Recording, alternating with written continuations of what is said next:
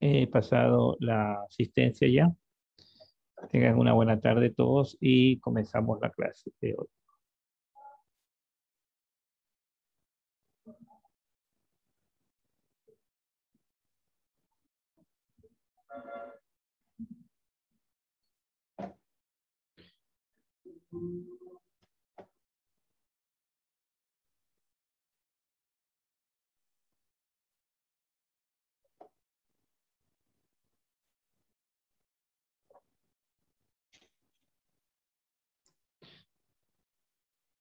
Hoy nos toca ver en el módulo 4 el tema número 1, lo que es patología imagenológica. Dentro de este tema 1, vamos a ver algunas patologías. Vamos a ver la patología mamaria, cardíaca, de tórax, que es lo que es el sistema nervioso, el sistema genitourinario, eh, también lo del hígado, vías biliares y páncreas, eh, también patología cervical y otras patologías más. La pregunta para interactuar el día de hoy es, ¿qué entiende usted por patología? Pueden eh, realizar sus comentarios activando su micrófono o escribiendo al chat. En caso de que no, lo, no puedan realizarlo mediante su micrófono, pueden escribir en el chat ¿Qué entienden ustedes por patología? Es el tema de inicio de clase del día de hoy.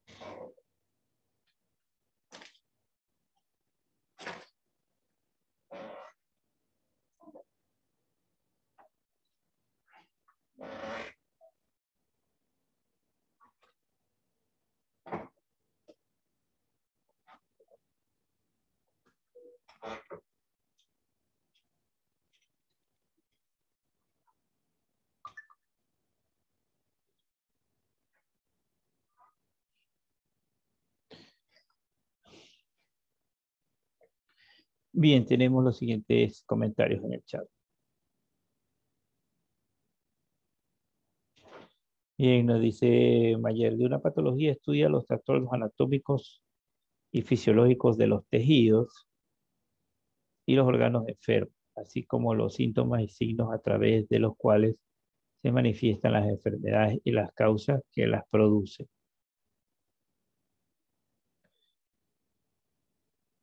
Jacqueline del Rocío nos dice es todo lo que se refiere a la causa de origen y naturaleza de la enfermedad. Rosa eh, nos comenta, para mi entender, es cada una de las enfermedades que padece un paciente. Manuel nos indica. Gabriela nos dice, patología es todo trastorno que causa la enfermedad. Manuel nos comenta, distintos tipos de males que aquejan nuestro cuerpo, eh, sean malignas o benignas, como el cáncer o los pólipos o ganglios inflamados. Muy bien. ¿Qué más nos pueden comentar?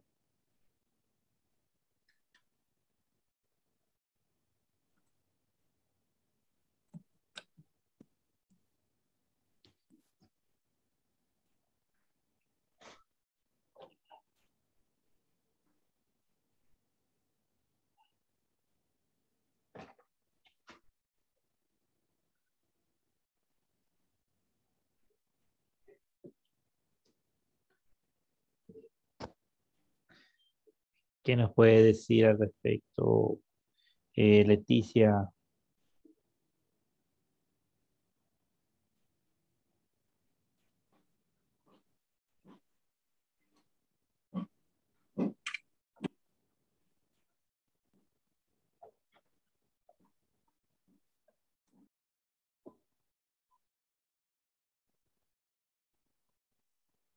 Nos puede comentar Adam también.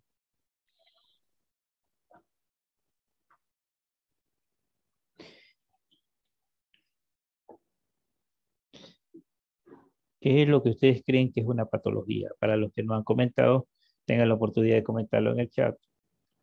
O si quieren hacerlo en público, pueden activar su micrófono.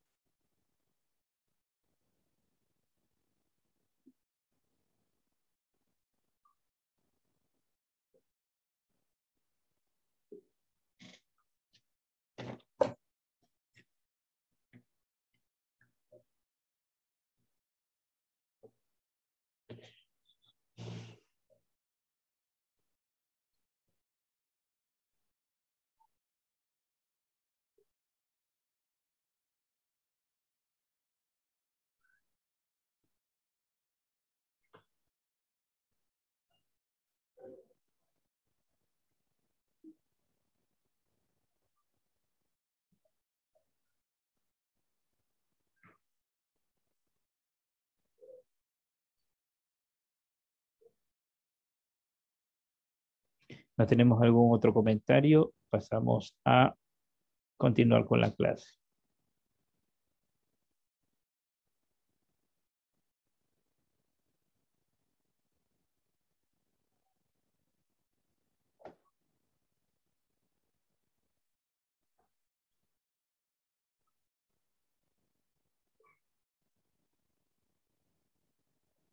Bien, eh, Joana nos comenta es aquella rama de la medicina y la biología que se encarga del estudio de las enfermedades. Eh, Jennifer nos dice, se encarga del estudio de los cambios estructurales, bioquímicos y funcionales que yacen, en el, que yacen a la enfermedad en células, tejidos y órganos. Muy bien. Continuemos. Tengo otro comentario de Brian. Eh, patología se refiere a los trastornos anatómicos y fisiológicos de los tejidos y los órganos enfermos, así como los síntomas y signos de los cuales se mantienen las enfermedades y sus causas. Muy bien. Eh, gracias a sus comentarios y aportes, vamos a continuar con la clase.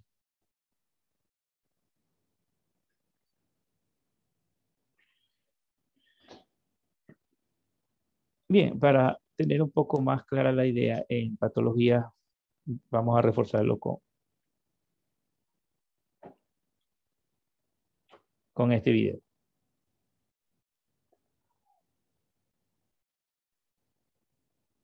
Tengo un comentario más, de una enfermedad física o mental que padece una persona, nos comenta Adam.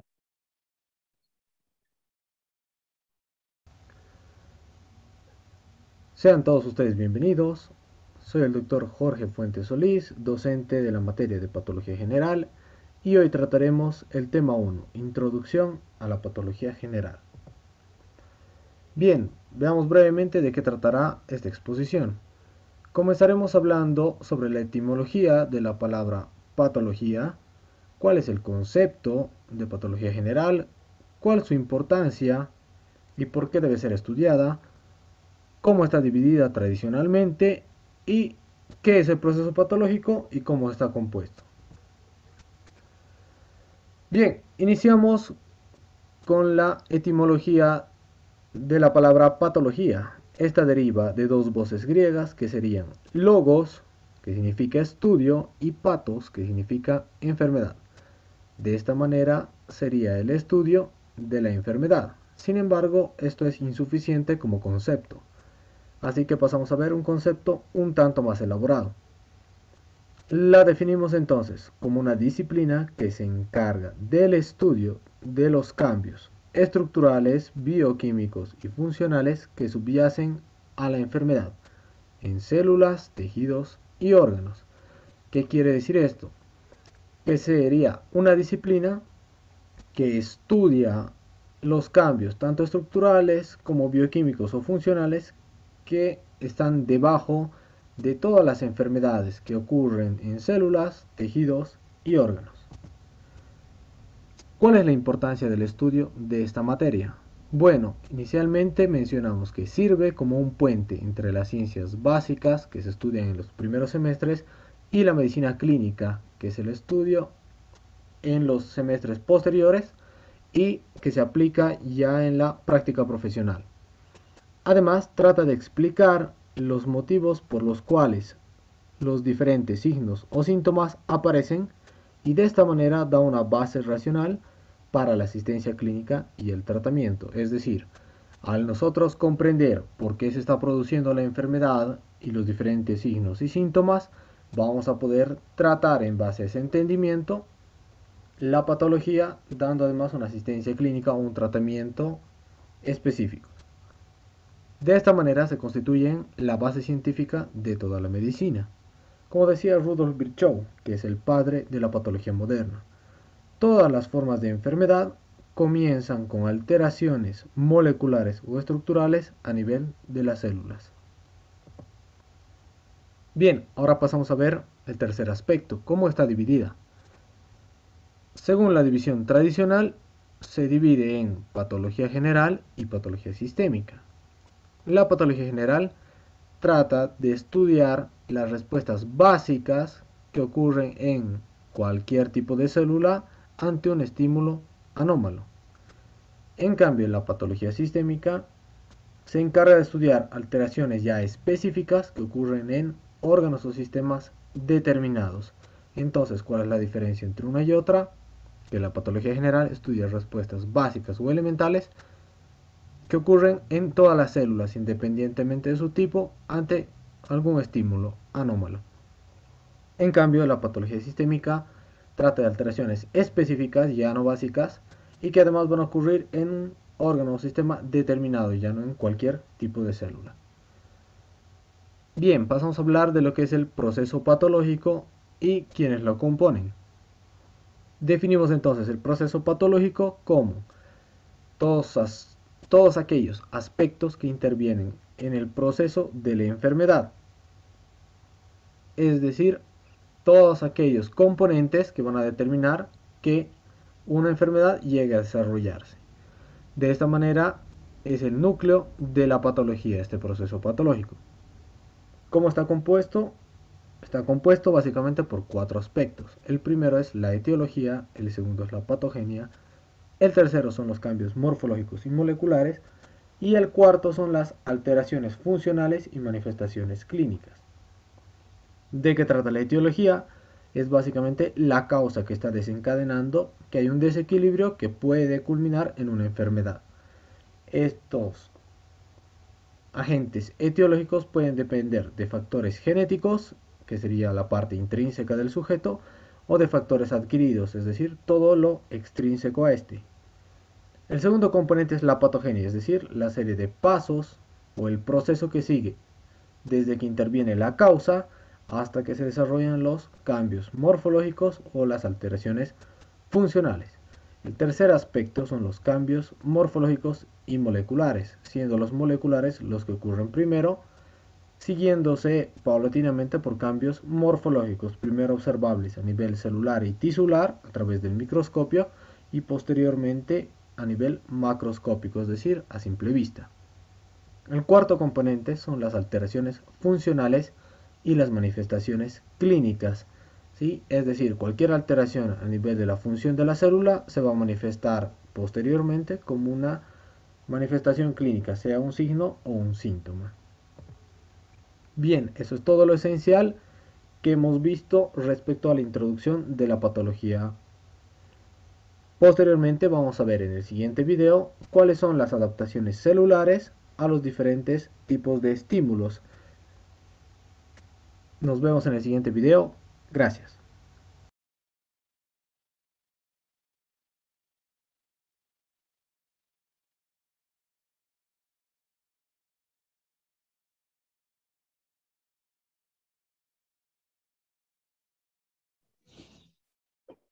Bien, así este, escuchamos una introducción sobre lo que es patología. Los objetivos de este tema, uno es describir conceptos, aspectos y efectos de las patologías imagenológicas que podemos eh, detectar. Tenemos unos conceptos básicos en cuanto a la definición. Tenemos eh, que patología es la rama de la medicina que investiga la naturaleza esencial de la enfermedad. Quiere decir especialmente los cambios en los tejidos, órganos del cuerpo que causan o son causados por la enfermedad. Patogénesis, en cambio, es el desarrollo de una enfermedad y la cadena de eventos que conducen a esta enfermedad. Patógeno es el, agente causal de una enfermedad, que pueden ser bacterias, virus o parásitos. Definición de los conceptos básicos de, tenemos etiología, es la causa de la enfermedad, y esta puede ser congénita, o sea, de nacimiento, o hereditaria. Eh, tenemos eh, prognosis, que es potencial de rehabilitación, o sea, lo que es la recuperación. Eh, salud, que es el estado de completo bienestar físico, mental y social, no solamente ausencia de enfermedad. Tenemos como enfermedad, propiamente dicha, es un proceso que se desarrolla en un ser vivo, caracterizado por una alteración de su estado normal de salud. Y tenemos que puede ser enfermedad aguda, y es cuando se refiere a una enfermedad que tiene un inicio rápido y de corta duración. Tenemos subaguda, que es el tipo de enfermedad cuya sintomatología es de tipo moderado con una evolución más o menos prolongada. Eh, crónica eh, son aquellas enfermedades de larga duración.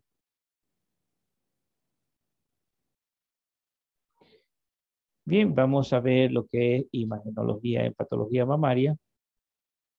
Tenemos que, eh, lo que tiene que ver con la mamografía, tenemos un examen de tamizaje y un examen de diagnóstico. El examen de tamizaje se realiza a mujeres asintomáticas, o sea, sin síntomas, para detectar de alguna manera en forma temprana el cáncer que puede estar clínicamente oculto. Examen de diagnóstico, este se refiere a pacientes con síntomas o signos o, síntomas sugestivos de cáncer y a pacientes con hallazgos anormales en un estudio de tamizaje. ¿Qué es lo que se busca en la evaluación del estudio mamográfico? Precisamente es buscar la presencia de masas, que estas pueden ser de diferentes formas, Pueden ser masas circulares, espiculares con espículas. También eh, pueden ser de alguna manera este, también aglomeramiento de masas. Eh, puede haber una área de asimetría, o sea que haya, al dividir en dos partes, vemos una parte más grande y otra más pequeña. No hay una simetría, sino una asimetría, eh, una distorsión de arquitectura y unas microcalcificaciones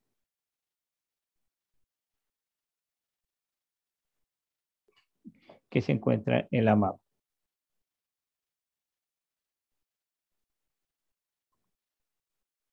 tenemos los BIRAT, eh, que es el sistema de manejo de datos del reporte en la imagen mamaria. Fue diseñado en 1993 y estandarizado en 1997. Este BIRAT eh, son nada más que categorías de acuerdo al estudio eh, clínico. Tenemos, por ejemplo, los BIRAT 0, que es un estudio incompleto. Tenemos el BIRAT 1, que es un estudio negativo, o sea, no hay presencia eh, de hallazgos, eh, sean benignos o malignos. Tenemos el BIRAC2. En este BIRAC2 tenemos hallazgos benignos. Este tipo de hallazgos benignos pueden ser eh, unas fibroadenonas calcificadas, pueden ser lesiones que contengan grasa, pueden ser ganglios intramamarios, las prótesis y algunas calcificaciones benignas. Tenemos la otra categoría, el BIRAT 3. Aquí hay hallazgos probablemente benignos. Estos tienen que ver con lesiones. Eh, pueden ser nódulos circunscritos, no palpables, eh, una simetría focal. Tenemos también el BIRAT 4, la categoría BIRAT 4. Esta introduce procedimientos ya intervencionistas y no, no están exentos o exentas de riesgo de malignidad. Se puede clasificar en A, B y C. A es de bajo sospecha, B es ya una sospecha intermedia y C ya es una sospecha moderada. Tenemos el BIRAT 5, esta categoría nos dice que hay lesiones con casi, que casi con toda la certeza representan un cáncer mamario. Un BIRAT 6, aquí encontramos hallazgos confirmados como malignos por biopsia.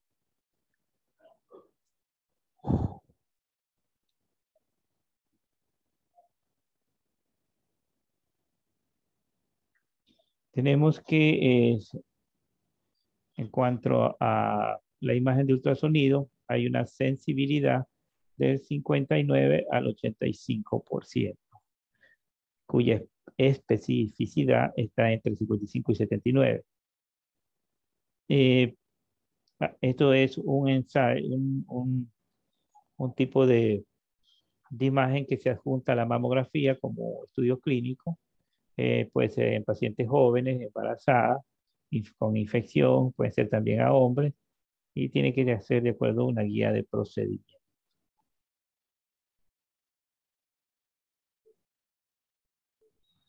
Bien, veamos eh, los diferentes estudios e imágenes que se pueden dar en imagenología de patología mamaria en el siguiente video.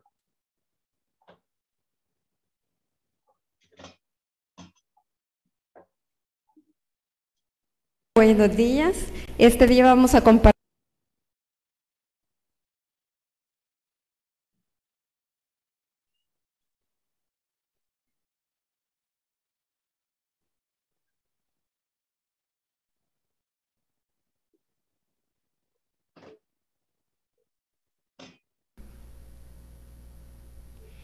Aquí les traje yo un plano de ubicación de las lesiones. Utilizamos lo que son el radio horario como si fuera un reloj, tanto en mamografía como en ultrasonido.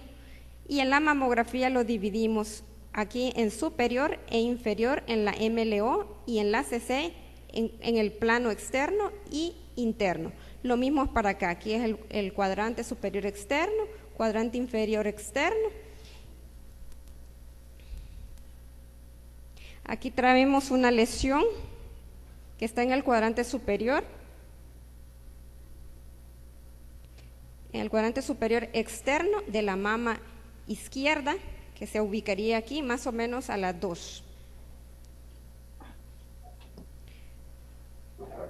Para ubicarla aquí.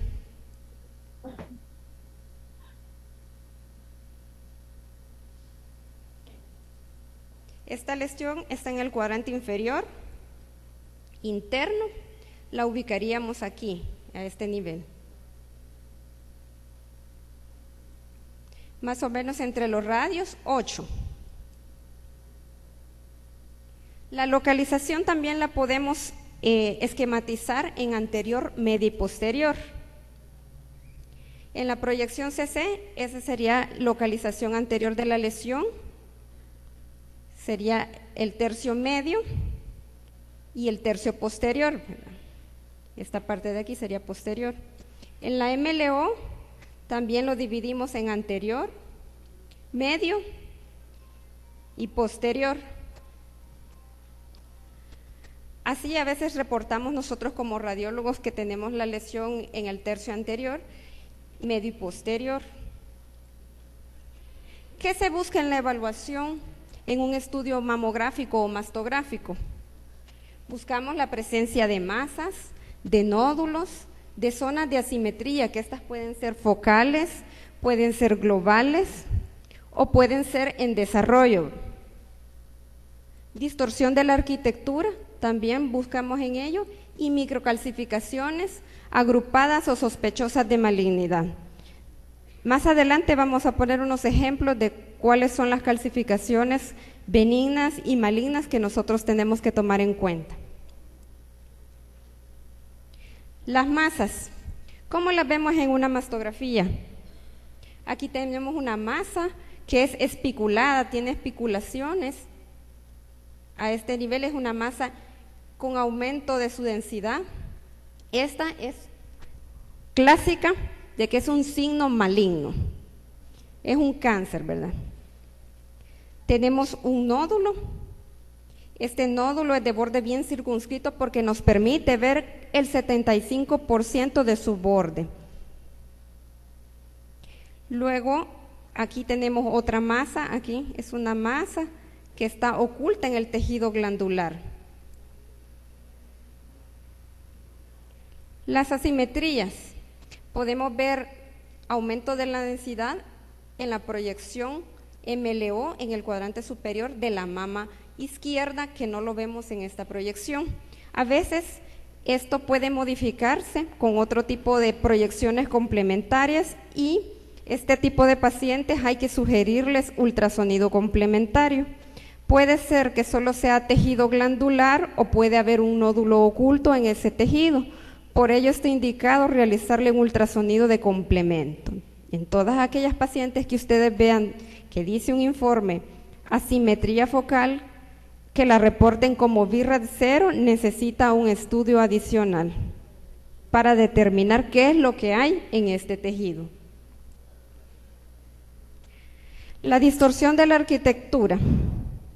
Aquí podemos ver este tejido que se mira simétrico, como unas patitas, les digo yo a veces, porque es difícil verlo. Traducido ecográficamente vemos esta lesión de bordes irregulares con reforzamiento acústico posterior. Este es un tumor sólido de aspecto maligno. ¿Cuáles son los síntomas mastográficos de cáncer de mama? Aquí cuando tenemos calcificaciones con alta sospecha de malignidad, podemos dejar una mastografía. Estas son las calcificaciones pleomórficas. Miren este tipo de calcificaciones. Eh, no se miran eh, algunas son más pequeñas, otras más grandes, su morfología. Este tipo de calcificaciones es maligna. Podemos tener también calcificaciones lineales finas o ramificadas, que también son malignas. Ven cómo sigue así la forma lineal y, y forma de patrón de ramas. Estas se clasifican como birras 5. Otro signo mastográfico es el engrosamiento de la piel, como vemos. Vemos también la retracción del pezón, que está siendo causada secundaria a una lesión espiculada. Entonces nos produce engrosamiento de la piel y retracción. Las adenopatías también son importantes tomar proyecciones a nivel de la axila para evaluar estos ganglios. Si hay pérdida de la morfología, habitual de los ganglios, si han perdido el hilio graso, que va más o menos a este nivel, si está más, más denso, si está redondo. Posteriormente les mostraré por ecografía cómo se mira un ganglio patológico. Les traje simplificado lo que es el BIRRAD, porque el BIRRAD eh, podríamos hablar toda una mañana de los BIRRAD. Es un atlas extenso, pero hemos traído a simplificar nada más el significado que utiliza la mayoría de los médicos y que este ha sido estandarizado por el Colegio de Radiología Americano. Este sistema de manejo de datos de reporte en la imagen mamaria significa BIRRAD. Fue diseñado en 1993 y fue estandarizado en 1997. Este es el que se usa por eh, la Academia de radiólogos de Norteamérica. Europa tiene otro tipo de, utiliza el BIRAD y otro tipo de patrones, pero nosotros trabajamos con BIRAD idealmente. Aquí tenemos la categorización que va, BIRAD 0 es un estudio incompleto.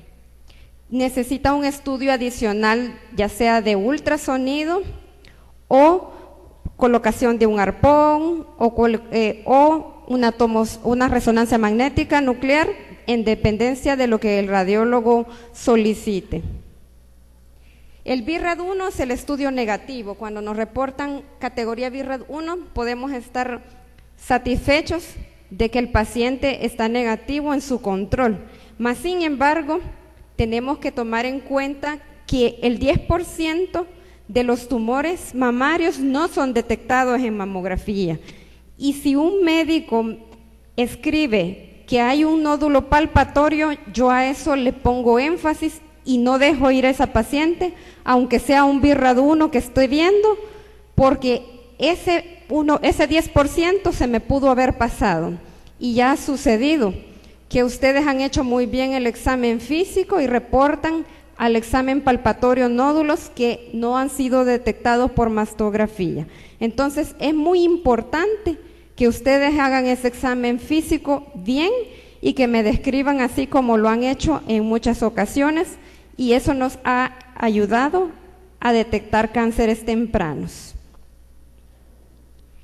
El BIRRAD2 son hallazgos totalmente benignos. Aquí podemos encontrar fibroadenomas calcificados, lesiones que contienen grasa como lipomas, ganglios intramamarios de morfología normal. Cuando una paciente tiene prótesis mamaria, también se da un BIRRAD2, calcificaciones benignas, el BIRRA 3 son hallazgos probablemente benignos. Estas pacientes se les da seguimiento cada seis meses, ya sea ecográfico o mastográfico. Esto sí me gustaría que, llevaran muy bien este, el mensaje del BIRRA 3, porque a veces nosotros reportamos que necesitan el seguimiento a los seis meses y no envían al paciente. Y tal vez la lesión ha progresado y no podemos permitir que nos pase eso, porque podemos recategorizar cuando volvemos a citar a la paciente si la lesión que tenemos en estudio ha progresado o se ha mantenido igual. El BIRRA 3 puede llevar su seguimiento hasta por dos años. Si no ha sufrido modificación, se recategoriza a la paciente a BIRRA 2. El BIRRAD 4 todo BIRRAD 4 se va a biopsia. Es aquel, aquella categoría donde nosotros encontramos nódulos de sospecha o que se han modificado en corto tiempo. Y se clasifica, se subdivide en tres tipos, de baja sospecha, como los fibroadenomas, por ejemplo, sospecha intermedia y sospecha moderada. Cuando lo reportamos categoría BIRRAD 4C, casi estamos diciendo que sospechamos un cáncer porque tiene el 95% de posibilidad de que esa lesión sea maligna. El BIRRAD 5 ya son lesiones con certeza que son un CA de mama, ¿verdad? Y los BIRRAD 6 ya son todas aquellas pacientes que les practicamos una biopsia y salió positiva para un cáncer de mama.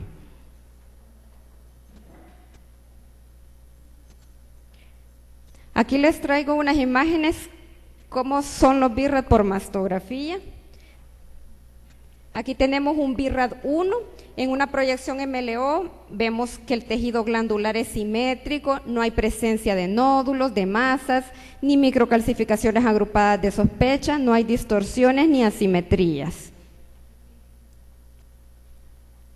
Aquí tenemos un BIRRAD 2. Este es un nódulo bien circunscrito, bien delimitado y isodenso al tejido glandular. Este es un BIRRAD 3, es una simetría. Este es un ejemplo de, de una masa que está comprimiendo lo que es el músculo pectoral, por lo cual esta paciente amerita que se le practique una biopsia. Y aquí tenemos un BIRRAD 5, vemos un nódulo espiculado de alta densidad que, que en la mastografía tiene metástasis. Miren cómo se miran estos ganglios, han perdido la morfología habitual, se miran con aumento de su densidad. El ultrasonido es la segunda herramienta de la cual los radiólogos nos apoyamos mucho para caracterizar las lesiones que encontramos en mastografía. Pero este tiene una sensibilidad menor, 85, de 59 al 85% y su especificidad es del 79%. ¿Por qué les hago énfasis en que el ultrasonido es de menor eh, para detectar el, tamizaje de cáncer de mama. Eh, por ahí andan unos reportes que me ponen ultrasonido de tamizaje. Eso debe evitarse. El tamizaje se practica con la mastografía. El ultrasonido, como les decía, nos ayuda a caracterizar los nódulos, las masas, para determinar si esa paciente requiere biopsia o si es un nódulo con características benignas. Pero en situaciones envían primero a la paciente a ultrasonido. Entonces, complicamos a la paciente porque vamos a la inversa, cuando primero tiene que ser su mastografía si ya tiene los 40 años. Entre las indicaciones se utiliza como, como complemento de la mamografía en caso de tener lesiones de sospecha.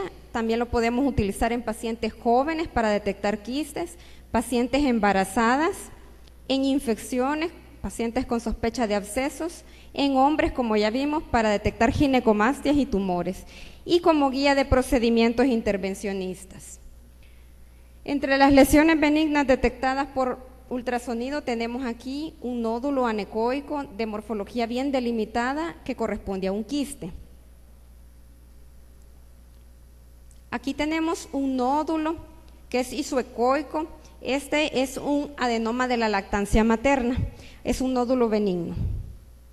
La historia clínica nos sirve muchísimo para detectar cuál, eh, en cuál vamos a categorizar a la paciente. En este caso, el adenoma de la lactancia, pues la paciente tenía su antecedente de dar de lactar, ¿verdad? Posteriormente se le hace el seguimiento y estos pueden involucionar o si no, a veces los se van a excisión cuando son muy antiguos. Aquí tenemos un nódulo que es isoecoico. Este es un lipoma, es una lesión benigna, es un lipoma como cualquier otro lipoma que aparece en cualquier parte del tejido blando que apareció en mama. Aquí tenemos un típico fibroadenoma, es un nódulo sólido, bien delimitado, sin reforzamiento acústico posterior. Este es un ganglio axilar normal conserva su hilio graso y su grosor cortical es normal. Aquí tenemos un ducto retroareolar de trayecto y calibre normal. También nos sirve para determinar si no está ocupado ese ducto por detritus, ¿verdad? Entre las lesiones malignas que podemos detectar tenemos los cánceres y como podemos ver, este nódulo es, de morfología redonda, hipervascularizado, con microlobulaciones. Aquí tenemos un nódulo de morfología irregular, este también es un cáncer. Aquí tenemos una masa que era palpable, muy espiculada y tiene una sombra acústica posterior. Esto es signo de malignidad. Aquí tenemos otro nódulo de morfología irregular de márgenes angulados con nos da un reforzamiento acústico posterior también es un nódulo maligno. Aquí hay otra lesión con espículas sólida asociado a calcio, es lesión maligna también. Aquí tenemos otra masa de morfología irregular, vemos aquí cómo nos da el reforzamiento posterior y la vascularidad que tenemos en la periferia. El ultrasonido también nos sirve para realizar intervencionismo mamario. El 2% de las pacientes con mastografía de detección van a ser sometidas a un estudio citológico o histológico, ya sea una biopsia o un CAF. El 10 al 40% sus resultados son negativos para malignidad, quiere decir que el otro 60% son positivos para malignidad. Aquí tenemos un equipo de ultrasonido, es el método de elección para intervencionismo mamario, ¿verdad? En casi todos los nódulos se pueden ver, ya sean palpables o no, y que sean visibles por mastografía, los podemos visualizar por ecografía. Todo procedimiento intervencionista es aquel que supone el uso de agujas, de catéteres, de arpones a través de la piel o a través de los conductos. En 1982 en Suecia se introdujo la biopsia por aspiración con aguja gruesa por primera vez. Se ha modificado por este señor Parker en 1990. Este agregó lo que es una biopsia por estereotaxia, que a continuación detallaré. Y Parker en 1993 fue el creador de biopsias guiadas por ultrasonido, que es el método que estamos utilizando actualmente.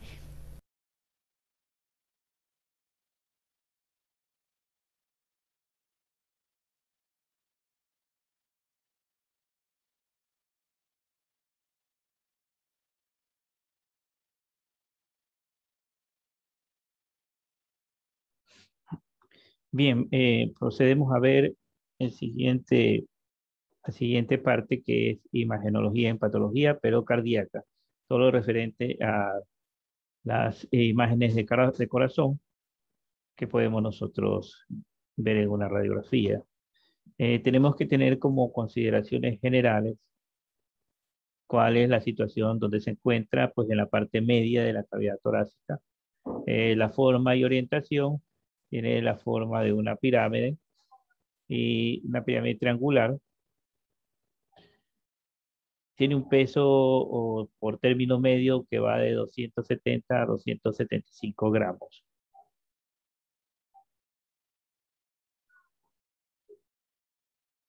Aquí tenemos dos tipos de placas. Eh, una antero-posterior y una de perfil.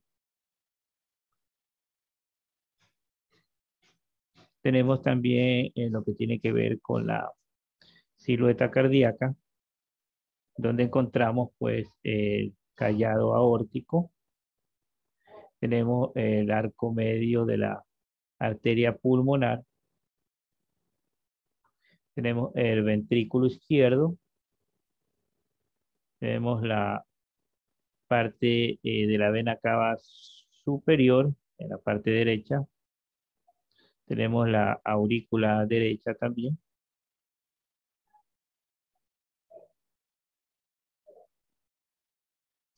También tenemos que ver eh, la parte de la silueta cardíaca. En póstero anterior tenemos dos bordes. En este caso, el borde derecho tiene tres arcos.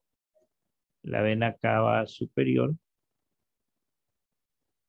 la aorta ascendente la aurícula derecha. En la parte del borde izquierdo tenemos cuatro arcos, lo que es el callado de la aorta. Tenemos el tronco pulmonar.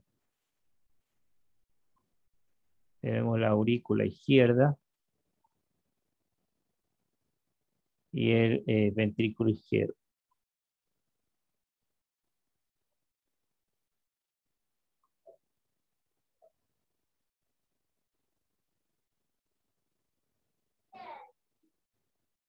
Para ver lo que tiene que ver con el tamaño del corazón, tenemos nosotros que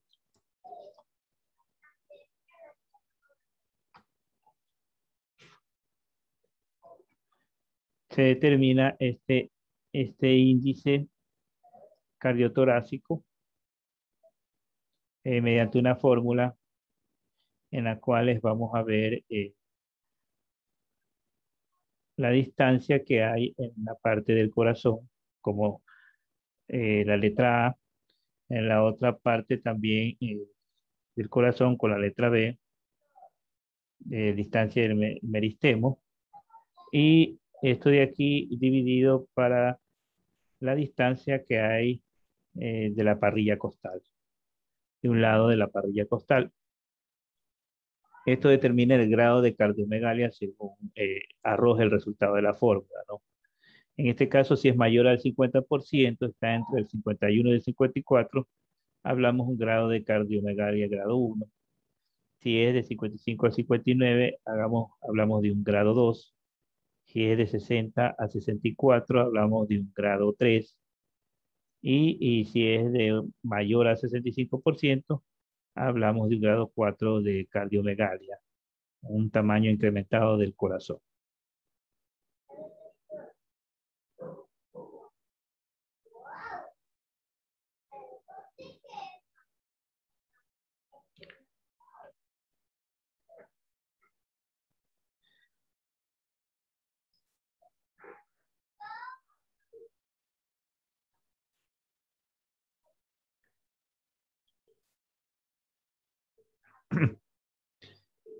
Bien, vamos ahora a,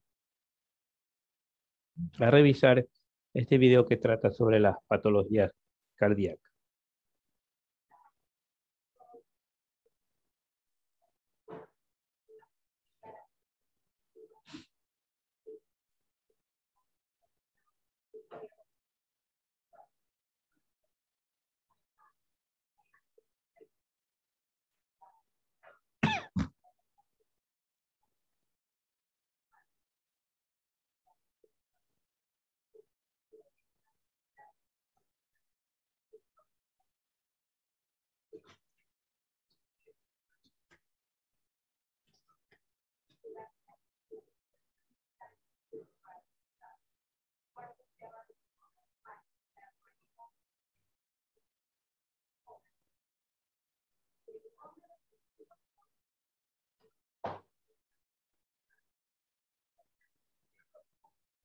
Generalmente cualquier tipo de cardiopatía dependiendo de la evolución de la misma. Hay cardiopatías congénitas valvulares, hipertensivas y miocarditis. En este caso es una anomalía de Epstein. Esta, esta, esta radiografía eh, evidencia un crecimiento de cavidades derechas y eso hace que haya un índice cardiotorácico mayor, aproximadamente 0.6 tenemos un grado 3 mucho más evidente, con mucho más deterioro habitualmente con insuficiencia ventricular, vemos crecimiento de ventrículo izquierdo y ocasionado por una cardiopatía valvular reumática. Y un grado 4, ya mucho más grande, miren este corazón. Corazón con una cardiopatía dilatada, es un joven de 15 años, ¿sí? con disnea a pequeños esfuerzos, camina aproximadamente 20 metros y está completamente agitado. Y no tolera el descuido es una cardiopatía dilatada. Lo que nosotros evaluamos para, para evaluar funcionamiento del corazón es la fracción de eyección. Habitualmente cualquier persona tiene una fracción de eyección aproximadamente de 55% a más. En el mejor de los casos, 70%. Este corazón late con una fracción de eyección de 10%, casi nada. Entonces lo que vamos a evaluar es la silueta cardíaca y empezando a ver es lo que nos ¿Qué es lo que les llama la atención acá? ¿Hay alguien que pueda decir que le llama la atención algo? Por lo menos, ¿sí? ¿Alguien? ¿Han notado algo raro? No está mal puesta la placa, por si acaso. ¿Sí? ¿Alguien dice algo? Claro, la mayoría de gente dice esto, está girada a la derecha. Exacto, es una destrocardia, muy rara vez vista. No la vemos muy seguido, pero es una destrocardia este niño no le habíamos sacado radiografía, no le habían sacado radiografía desde un inicio, y nos los mandan porque escuchaban los ruidos cardíacos alejados en pediatría. Entonces nosotros lo escuchamos, y precisamente pues no escuchábamos bien los latidos cuando colocabas el estetos acá. Tomamos un electro y las derivadas estaban completamente opuestas. Entonces, evaluando todo, vimos que la radiografía está con, con dextrocardia. Solo dextrocardia, porque no tenía sitios inversos. Entonces, ¿alguien puede evaluar esto? ¿Alguien de ustedes, la mayoría creo que ya ha hecho pediatría, o por lo menos ha hecho pediatría 1? ¿Sí? ¿Nadie? ¿Pocos? Muy bien. A ver, de soplo, esto es una cardiopatía congénita. ¿Algo que les llame la atención? ¿Sí? En bota, ¿no? Sí, es un corazón en bota. O un corazón en zapato sueco. ¿Alguien sabe a qué patología se asocia? Es una tetralogía, exacto una tetralogía de Falot, ¿sí? Está formado, bueno, acá lo, asociamos un zapato sueco o un corazón en bota. La tetralogía de Falot se llama tetralogía porque está formada por cuatro tipos de alteraciones estructurales, ¿no? Tiene un CIB, una comunicación interventricular, un cabalgamiento de la aorta, una estenosis de la pulmonar una hipertrofia del ventrículo derecho. Hipertrofia del ventrículo derecho en el, acá el tracto de salida de los vasos pulmonares está más dilatado. Otra ya. ¿Qué le parece esto? ¿Llama algo la atención? Primero, ¿es adulto o es niño? Niño, ¿no? Por las radiografías, por las costillitas. ¿Qué más nos llama la atención? La idea de esto es que se les quede grabado, porque si yo les vengo a explicar todo no sirve. Entonces la idea es que van a que algo les llame la atención. Está dilatado, ¿no? Notan que está como un huevo. Un huevo echado. ¿A qué tipo de cardiopatía congénita lo asocian? ¿Han escuchado corazón en forma de huevo? Es una transposición de los grandes vasos, ¿no? Cuando la aorta sale del ventrículo derecho y la pulmonar izquierda. Una más. ¿Qué les parece esto? ¿Sí? Dígame que le llama la atención algo, porque si le dicen que es normal, me cortó. ¿Sí? ¿Hay algo que le llame la atención?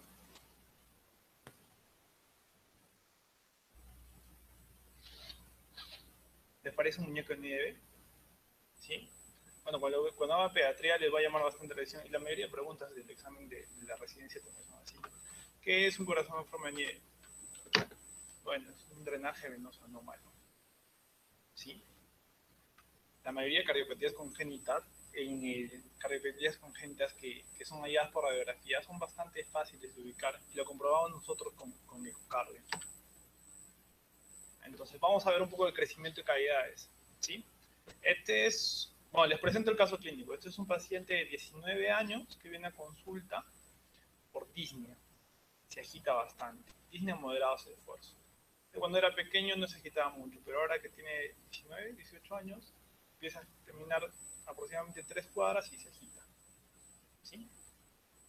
Al examen físico le encontrábamos edemas, estaba ingurgitado, tenía un clic sistólico de apertura mitral, tenía un soplito de rodamiento mitral. Y le tomamos un electro que no lo tengo acá, pero le tomamos esta radiografía. ¿Hay algo que le llame la atención en esta radiografía? es una radiografía normal. Si se dan cuenta, recuerdan que acá estaba un arco que evaluaba un poquito de la aurícula izquierda. ¿Se dan cuenta que hay como una, como una jorobita acá, en este lado? ¿Sí? ¿Lo ven? Es un crecimiento auricular derecho. Este paciente ya se estaba agitando, si se dan cuenta, bueno, posteriormente lo voy a explicar, o ya se lo hemos explicado, empieza a cefalizar la trama, viene la trama broncovascular, se está yendo al ápice. Aparte que tiene un crecimiento de la aurícula derecha. Las cavidades, perdón, la aurícula izquierda, las cavidades derechas casi normales. Acá es lo que me llama la atención, no es un corazón normal. Está dilatada la aurícula izquierda. Este joven tenía una estenosis mitral. Estenosis mitral, la válvula mitral, ustedes saben, comunica la aurícula izquierda con el ventrículo izquierdo. Esta estenosis mitral hacía que la válvula prácticamente no se aperture. Y que ocasionaba, obviamente, que no haya un buen drenaje de la aurícula izquierda del ventrículo izquierdo y esa aurícula empezaba a dilatarse, dilatarse, dilatarse, dilatarse. Hacía sobrecarga de presión y ocasionaba que se agite. Había congestión pulmonar. Otra, ¿sí? A ver, ¿qué le llama acá la atención? un superventrículo izquierdo, ¿se? Acá está ocasional del ventrículo derecho, acá está lo, perdón, acá está ocasional del ventrículo izquierdo, el ventrículo derecho, la aurícula derecha, les llama la atención algo. Está completamente dilatado. Esta es una paciente de 19 años, ¿sí? Que viene con insuficiencia aórtica. 19 años, tiene una cardiopatía dilatada, recién en una fase inicial, pero la válvula aórtica estaba completamente incompetente. Cerraba la válvula, pero se regresaba completamente la sangre. Y eso que ocasionaba que se empezara a dilatar el ventrículo izquierdo. Si se dan cuenta, la mayoría de patologías que cursan con dilatación, con compromiso de, válvulas, generalmente se va a asociar con congestión.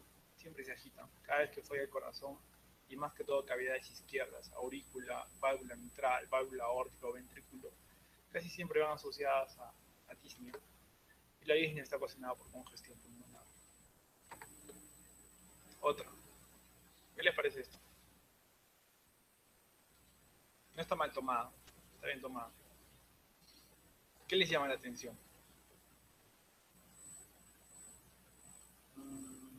No se puede valorar mucho la aurícula izquierda. ¿Por qué le llama la atención acá?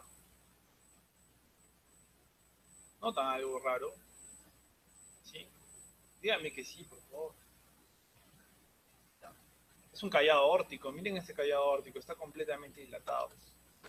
¿Sí? Es una aorta completamente dilatada. Es un aneurisma órtico. Una paciente de 79 años que completamente asintomática viene a un control nada más por el cardiólogo. Tomamos una radiografía está con una dilatación completa del callado, del callado órtico. Esta es una cardiopatía dilatada. Si se dan cuenta, está completamente dilatado el corazón, está completamente dilatado el ventrículo izquierdo, tanto así que no se contraía bien, tiene una fracción de eyección aproximadamente de 35%. Y siempre va asociado, corazón que disfunciona, corazón izquierdo que no funciona bien, casi siempre va asociado a pulmonar. Y es lo que podemos ver acá. Ahora yo les voy a explicar cómo se produce el mecanismo de congestión, pero eso quiero que se den cuenta. Hemos visto bastantes patologías y siempre van asociadas a congestión, congestión, congestión. ¿Y qué es por lo que generalmente viene el paciente? El paciente no te va a venir y te va a decir, ¿sabe qué doctor? Tengo estenosis mitral, o si me puede tratar. No.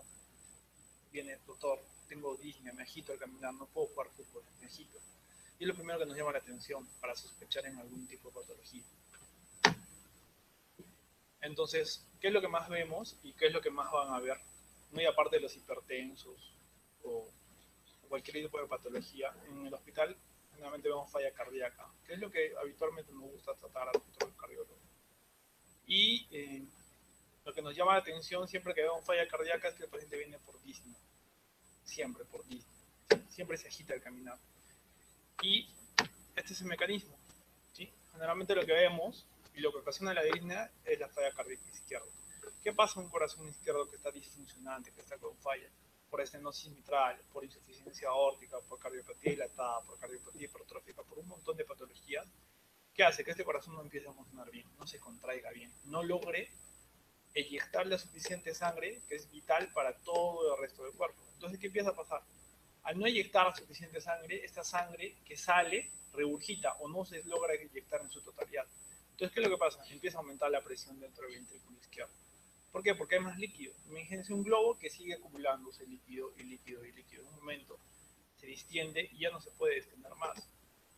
Se empieza a dilatar, empieza a aumentar las presiones. El corazón es estrictamente un órgano que está mermado y que está básicamente regido por presiones. Empieza a aumentar la presión en el ventrículo izquierdo, esto ocasiona que aumente la presión en la aurícula izquierda, y en la aurícula izquierda ¿qué drena? Drena las venas pulmonares, ¿verdad? Entonces hace que aumente presión en las venas pulmonares, y esta presión se traslade al pulmón. Y densa ciertas presiones, que haya un edema intersticial y, y cierta cantidad de líquido que se localiza en los alveolos drene al líquido intersticial. Salga el líquido y esto ocasiona que nos congestionemos, que el corazón se llene de agua, hablando vulgarmente. Y esto condicionaría. Lo que nos interesa más que todo es el mecanismo de falla cardíaca izquierda. El mecanismo de falla cardíaca derecha es básicamente similar. Existe sobrecarga de presión en el corazón derecho. Esto condiciona sobrecarga de presión en la aurícula derecha. Pero esta aurícula derecha tiene dos mecanismos de drenaje. Bueno, drenan dos estructuras acá, la vena cava superior y la vena cava inferior. Y esto va a ocasionar que haya aumento de presión en estas dos estructuras, en la vena cava superior y en la vena cava inferior. La vena cava superior que produce ingurgitación yugular, que es lo que vemos. La vena cava inferior que produce una hepatomegalia, un reflujo hepatoyugular, generalmente asitis y edemas, ¿verdad? Pero esto es ya un caso muy avanzado. Una falla izquierda te puede dar una falla cardíaca derecha, sí, pero ya en un estado avanzado cuando nosotros empezamos a ver los pacientes, generalmente los hallamos en falla cardíaca izquierda. ¿Y ¿Cuál es el mecanismo principal por el que viene? Entonces, existe un mecanismo de la congestión pulmonar. Hay varios grados, ¿sí?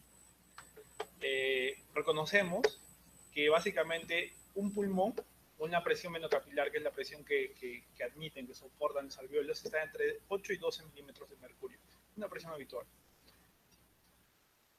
cuando empieza a subir las presiones, como les expliqué, es un mecanismo de aumento de presiones a nivel de cavidades, esa presión empieza a elevarse, esta presión menocapilar. Cuando llega entre 13 y 15 milímetros de mercurio, ya se empiezan a dar ciertos signos de congestión pulmonar. Tenemos los cilios pulmonares dilatados, aproximadamente 1.5 centímetros, que la verdad muy pocas veces los podemos valorar. Pero ahí empieza esto, que nos interesa. Se empieza a cefalizar el flujo, empieza a cefalizarse la vasculatura. Cuando la presión aumenta un poco más, de 16 a 22 milímetros de mercurio. Vamos a ver un empastamento pariliar, un edema de pared, un derrame intercelular, una mayor perfusión apical que basal. Obviamente, porque la presión va a hacer que la mayoría de líquidos se lo ocasionen en las bases y no en los ápices. La mayor eh, perfusión va a estar a nivel de ápices. Cuando la presión aumenta mucho más, que es en estos grados, que es cuando el paciente ya viene en ortopnea o disnea al reposo, ya se empiezan a ver las líneas B de Kernel, que asumo que se les han explicado, las líneas B de Kernel, la A de Kernel y la C de Kernel. En el grado 3 es donde ya nos empieza a llamar la atención, porque ya es más evidente.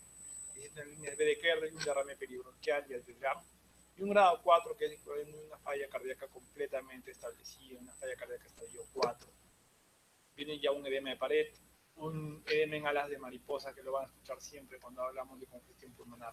Existen unas líneas A y C de Kerdel. Entonces vamos a empezar a ver tipos de hipertensión. Es una hipertensión menocapilar grado 1. ¿sí? Es una paciente que tenía un, una cardiopatía hipertrófica, por eso que no está dilatada. Hipertrofia, solo estaba engrosado el músculo. Pero aún así, tenía un grado de estenosis mitral y le hicieron un recambio valvular cuando tenía 18 años. ¿Hay algo en la radiografía que les llame la atención, muy aparte de estos cuadraditos?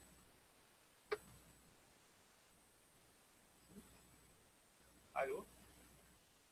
Exacto, hay un redondito. ¿Alguien puede sospechar que pueda hacer esto? Después de lo que les he dicho la amnesis, ¿se van a estar escuchando? Tenía una estenosis mitral. Es una válvula mitral protésica hicimos un recambio valvular y esta es una, estenosis. Entonces, esta es, es una paciente que ya viene con un grado de hipertensión. El paciente ya se ve una cefalización de flujo, de, flujo, perdón. Empiezan a ver acá los ápices y empiezan a ver unas rayitas blancas y no se dan cuenta. Empieza a cefalizar la trama vascular.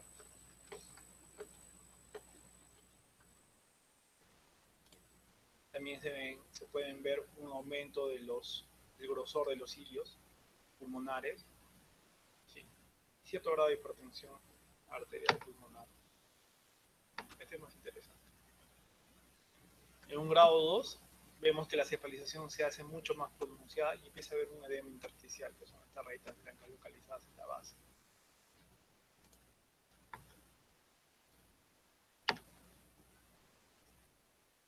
Esto es mi hipertensión pulmonar grado 3 ya podemos ver que existe un edema peribronquial localizado acá, alrededor de los bronquios, acá están los sitios pulmonares y acá están los bronquios. Las líneas B de Kerley, si las han oído, el edema alveolar. Acá la voy a mostrar mejor. Sí. Este es una paciente con una cardiopatía dilatada, el, el ventrículo izquierdo está completamente, bueno, no tan dilatado, pero sí dilatado. Existe cefalización de la trama, que es lo que nos interesa, porque la paciente vino con disnea y empiezan a verse estas líneas B de Kerdey que están localizadas principalmente en las bases. Son unas líneas horizontales localizadas generalmente a los lados. Y están acá las líneas A de Kerdey.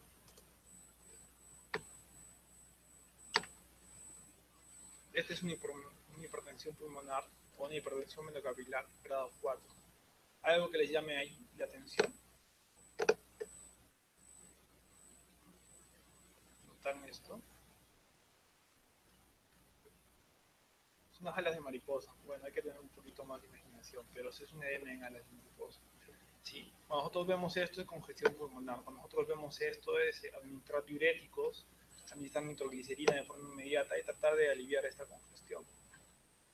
Esta es una paciente pequeñita, es una paciente que viene con 72, 75 años, que en la ecografía no tenía aparentemente nada pero viene con una historia de dolor, aparentemente 10 días, y cuando le hacemos una segunda ecografía, ya en, el hospital, el ventrículo izquierdo casi no se movía, había infartado, tomaba casi este, en el electrocardiograma de este B1 hasta B5, tenía una fracción de eyección de 10%, no se movía casi nada. Y eso ocasionaba que se estanque la sangre, no se podía inyectar la sangre del ventrículo izquierdo. Y eso ocasionaba que aumente la presión. Aumentó tanto la presión a nivel de las estructuras que empezó a haber edema intersticial, empezó a haber congestión pulmonar. Y esto es lo que vemos, ¿no? La paciente completamente congestionada con edema en alas de mariposa. Cuando, las, ah, cuando encontramos este tipo de pacientes, generalmente a veces las intubamos, logramos aliviar el, el derrame, logramos aliviar la congestión y salen. Este es otro se dan cuenta, un corazón completamente dilatado del ventrículo izquierdo, congestivo, las líneas B de Kerley las líneas A de Kerley, completamente, la trama pulmonar prácticamente no evaluable, está tomada todo por congestión. ¿Sí les llama la atención? ¿Y esto qué les parece?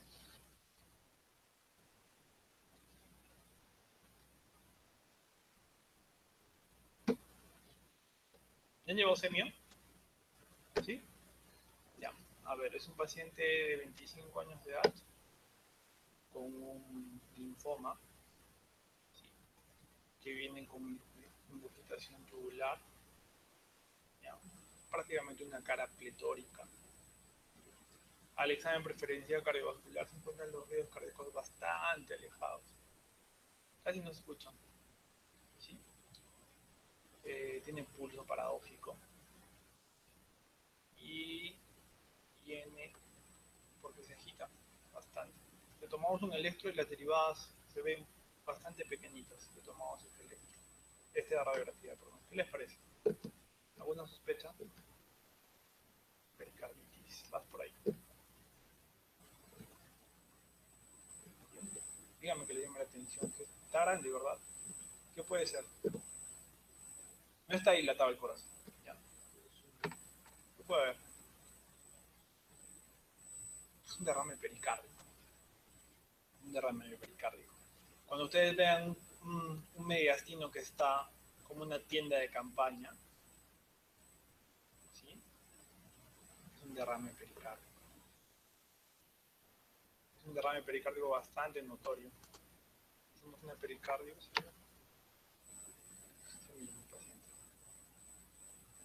Básicamente es todo lo que podemos evaluar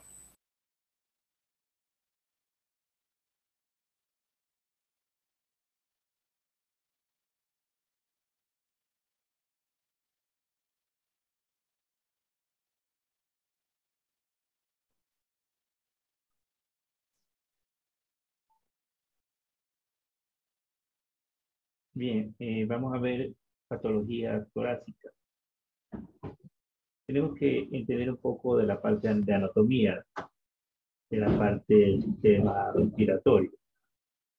Entonces tenemos que eh, hay una función conductora de aire que es la vía aérea. Esta es la que se encuentra aquí en la imagen. Esta es la vía aérea, eh, compuesta por la tráquea, bronquios principales, segmentarios y subsegmentarios, hasta los bronquioles terminales tiene una función de conductora del aire. Histológicamente presenta glándulas secretoras de moco y cartílago. Conforme se ramifican los bronquiolos, estos se comunican con algunos alveolos formando la zona de transición. La zona de transición es la que se encuentra aquí.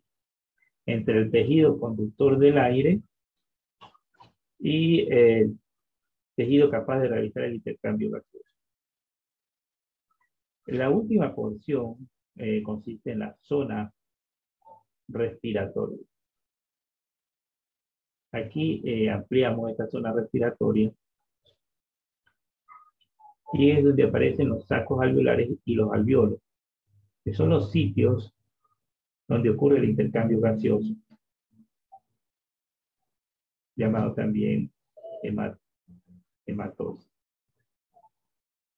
Aquí está. Los sacos alveolares. Entre los alveolos hay un intersticio que se llama tejido de sostén. este, de color verde, forma de, de malla, que soporta el alveolo para que pueda eh, realizar su función.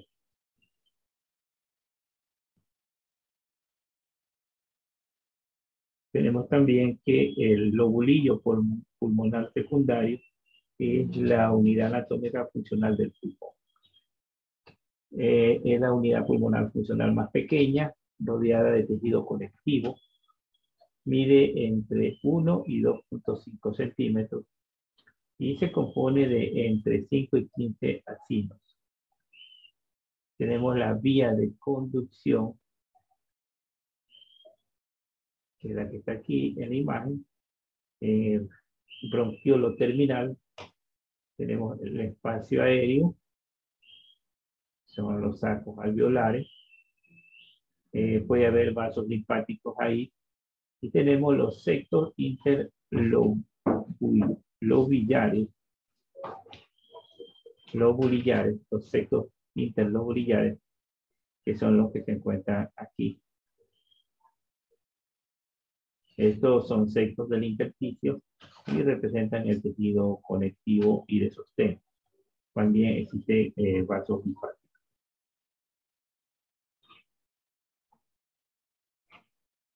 También podemos dividir eh, de acuerdo al tipo de enfermedades. Por ejemplo, tenemos en esta parte de aquí las enfermedades de la vía aérea. Tenemos eh, que abarca hasta acá. Tenemos enfermedades del lobulillo secundario, en los cuales tenemos enfermedades del espacio, el espacio aéreo de los sacos alveolares y las enfermedades del intersticio, eh, la parte que está aquí de color verde como la malla.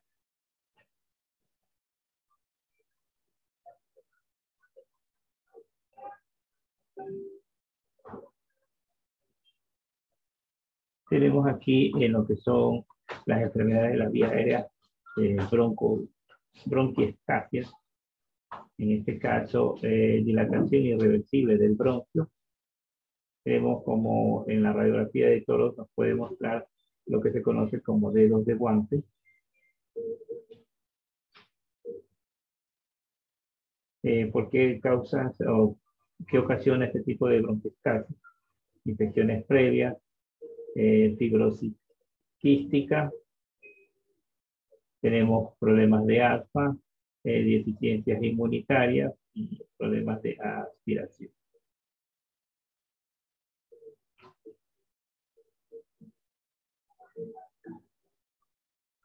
Eh, estas enfermedades de la bronquiestasia, tenemos cuáles son sus signos directos tenemos un engrosamiento de pared de los bronquios, una alteración en el calibre de la vía aérea y el signo del anillo de C. Aquí en esta tomografía, en este corte de la tomografía, vemos el engrosamiento de los bronquios, de la pared de los bronquios. Hay un engrosamiento y una forma de anillo. Por eso es que se lo conoce como signo del del anillo de C. Este es lo que podemos decir como un signo directo de una bronquitis.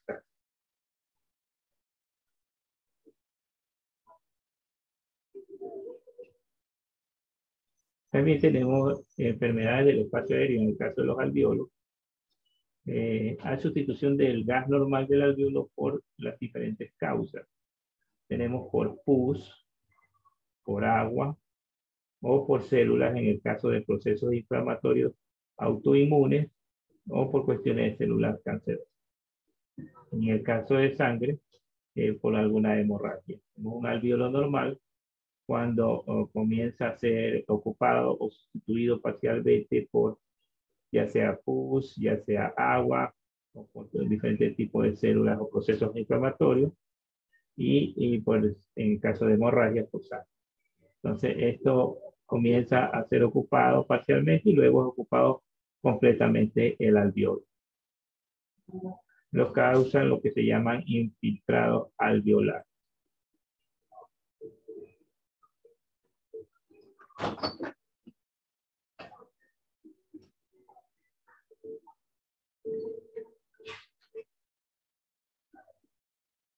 Bien, vamos a revisar este video sobre patología torácica.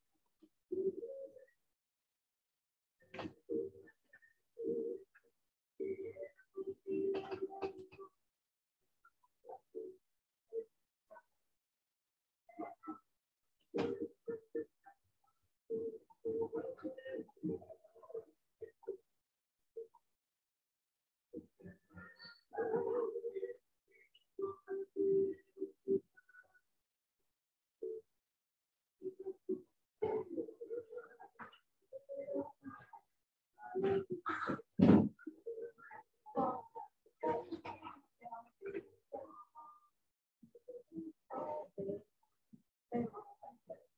el intersticio nos van a dar un infiltrado intersticial. Así, eh, en el infiltrado alveolar vamos a ver qué tanto lo ocupan, si lo ocupan parcialmente, un patrón en vidrio despulido, o completamente, una consolidación. Y podemos caracterizar su localización, si es difuso o si es localizado. Eh, por su parte, el, el infiltrado intersticial vamos a valorar su morfología, si es un infiltrado con aspecto en red o reticular, con múltiples nódulos o nodular, o una mezcla de estos como retículo nodular. Ahora sí, dentro de las enfermedades del espacio aéreo,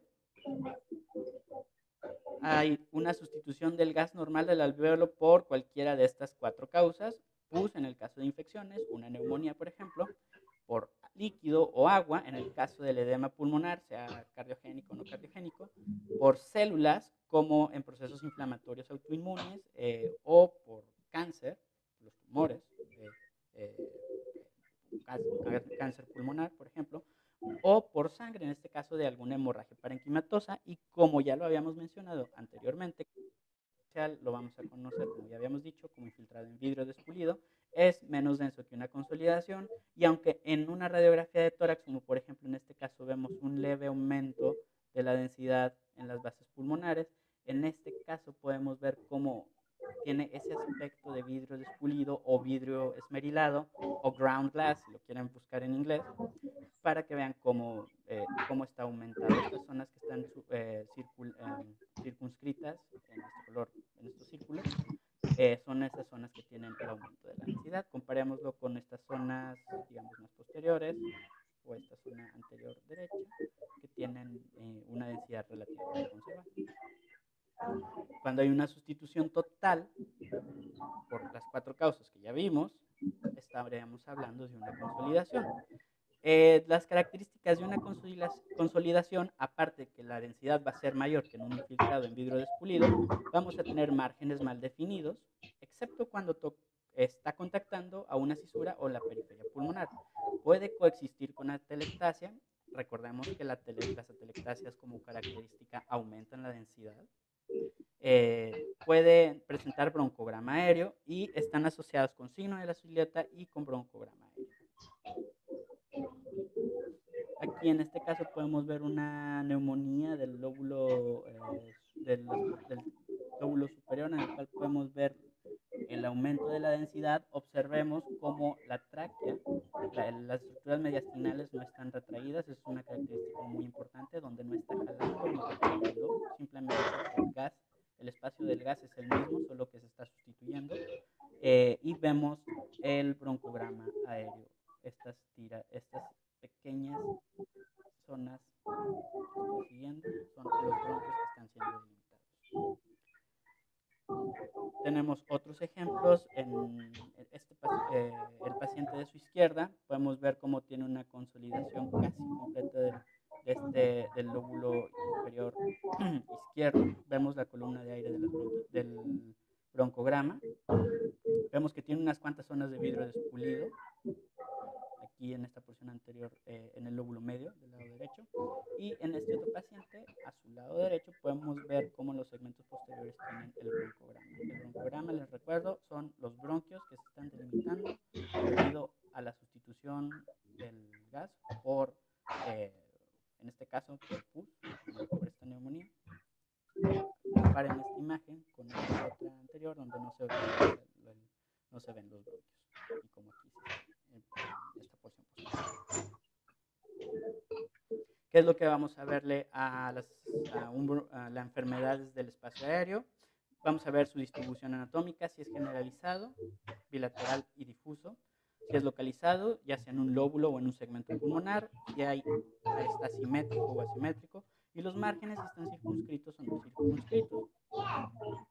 Dentro de las causas de patrones alveolares difusos podemos encontrar el edema, cardiogénico o no cardiogénico, la hemorragia, que puede ser en pacientes con anticoagulantes, alguna eh, eh, enfermedad hematológica o, o posterior al trauma, tumores como carcinoma bronquiolo-alveolar o linfoma, exudados, en este caso neumonías de distintos tipos, u otras causas como neumonías intersticiales o prototitis alveolar.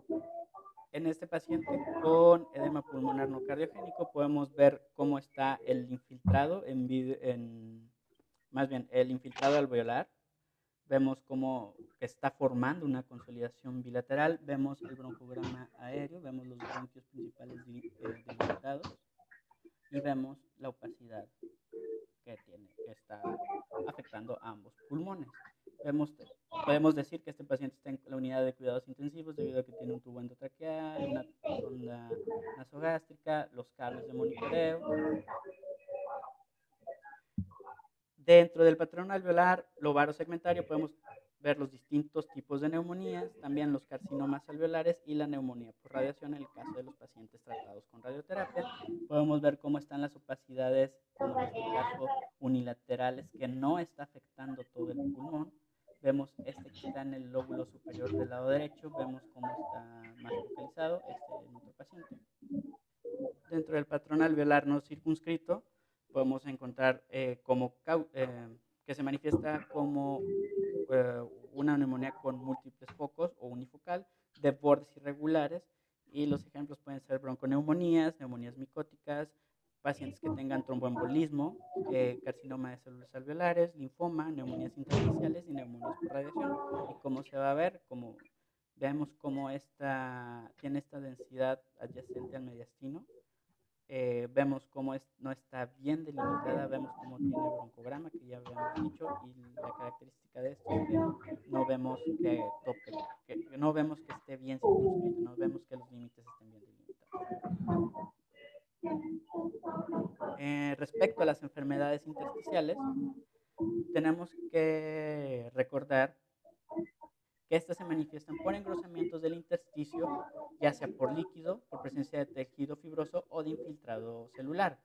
Eh, esto nos causa opacidades reticulares debido al engrosamiento de los septos, y eh, una característica importante que tiene es que no respetan los límites lobares, debido a que el intersticio se distribuye a través del pulmón. Y aquí, por ejemplo, podemos ver en verde cómo en esta representación de un lóbulo, de un, de eh, de un lóbulo pulmonar, en el cual vemos cómo hay intersticio adyacente a la pleura y hay intersticio que va del ilio a la periferia y cómo hay intersticio también a nivel de los eh, lóbulos pulmonares secundarios. Entonces, el intersticio está presente en todo el pulmón. Esto es lo que explica que se distribuye, este tipo de opacidades eh, no respete esos límites.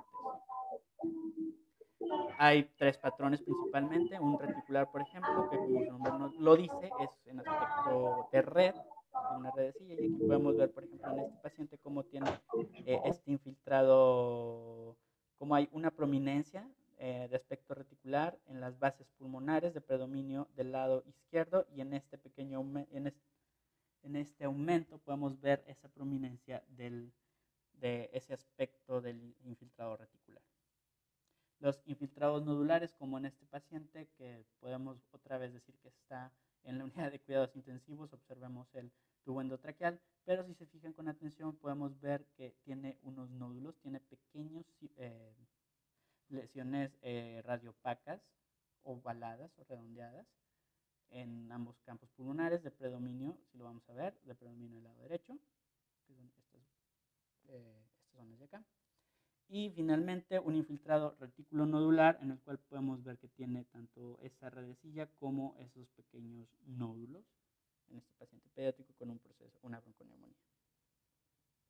Dentro de las enfermedades del intersticio, las causas pueden ser el edema venoso, el edema linfático. Recordemos que en el intersticio hay vasos linfáticos y del, y del intersticio salen las venas pulmonares que van, a llegar las, lleva, perdón, que van a llevar la sangre oxigenada. La diseminación linfangítica, esto en el caso de eh, diseminación de eh, tumores, enfermedades de la colágena, enfermedades por inhalación y las manifestaciones radiológicas, aparte de los tres tipos de infiltrado que ya vimos, reticular, reticulonodular o nodular, vamos a poder ver, por ejemplo, las líneas, eh, las líneas de Kerley, un patrón de panelización o la presencia de nódulos miliares. El infiltrado intersticial, las líneas de Kerley, podemos ver las líneas A, que son acumulación de líquidos en el tejido que rodea los cilios pulmonares. Vemos aquí cómo los cilios están prominentes, tienen estas, pequeñas líneas eh, que se extienden desde los cilios hasta la periferia. Y los tabiques interlobulares engrosados representan a las líneas B, generalmente en las bases pulmonares y son perpendiculares a la pleura, como son estos marcados por las flechas eh, negras en este caso. Estos suelen verse en el contexto de pacientes con eh, falla cardíaca o con edema pulmonar.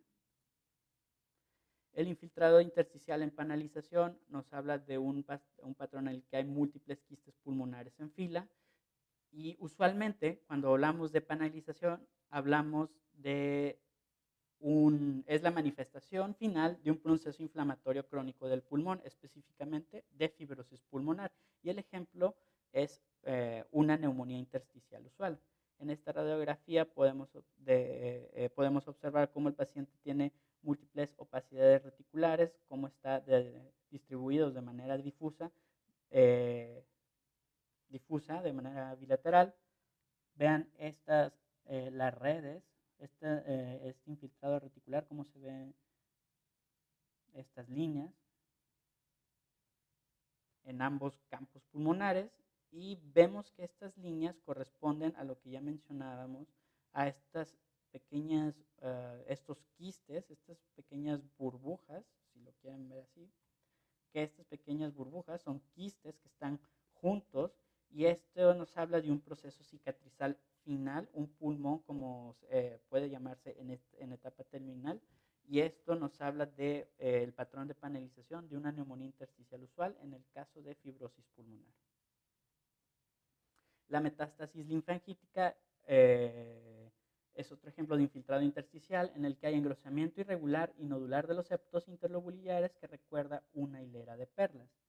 Y eh, en esta radiografía podemos ver ese engrosamiento lineal y aparte vemos cómo hay eh, pequeños nódulos dentro de ese infiltrado en el del lado derecho y en su tomografía correspondiente podemos ver los nódulos y aparte cómo los nódulos están en, junto con el engrosamiento de los septos. Entonces, este ejemplo de metástasis linfangíticas eh, suele ocurrir, eh, es una diseminación de un cáncer por el intersticio. Con respecto a los nódulos y masas, pueden clasificarse de distintos tipos. Un nódulo es una lesión redondeada originadas en el parénquima pulmonar. Los distintos tipos que pueden ser dependiendo de su tamaño, son los nódulos miliares, que son nódulos muy pequeños, que luego vamos a hablar de ellos. Los micronódulos entre 2 a 7 milímetros, el nódulo propiamente dicho entre 7 y 30 milímetros, y la masa que es una lesión redondeada o ovalada de más de 30 milímetros o más de 3 centímetros. Cuando hablamos de un solo nódulo, o sea, de estos, eh, un solo nódulo, eh, hasta aquí, que no pase de los 3 centímetros, eh, estaríamos tratando con un nódulo pulmonar solitario, el cual no debe de, estar asociarse con otras lesiones, no debe de haber una neumonía, no debe de haber una telectasia, por ejemplo, y que usualmente es un hallazgo incidental.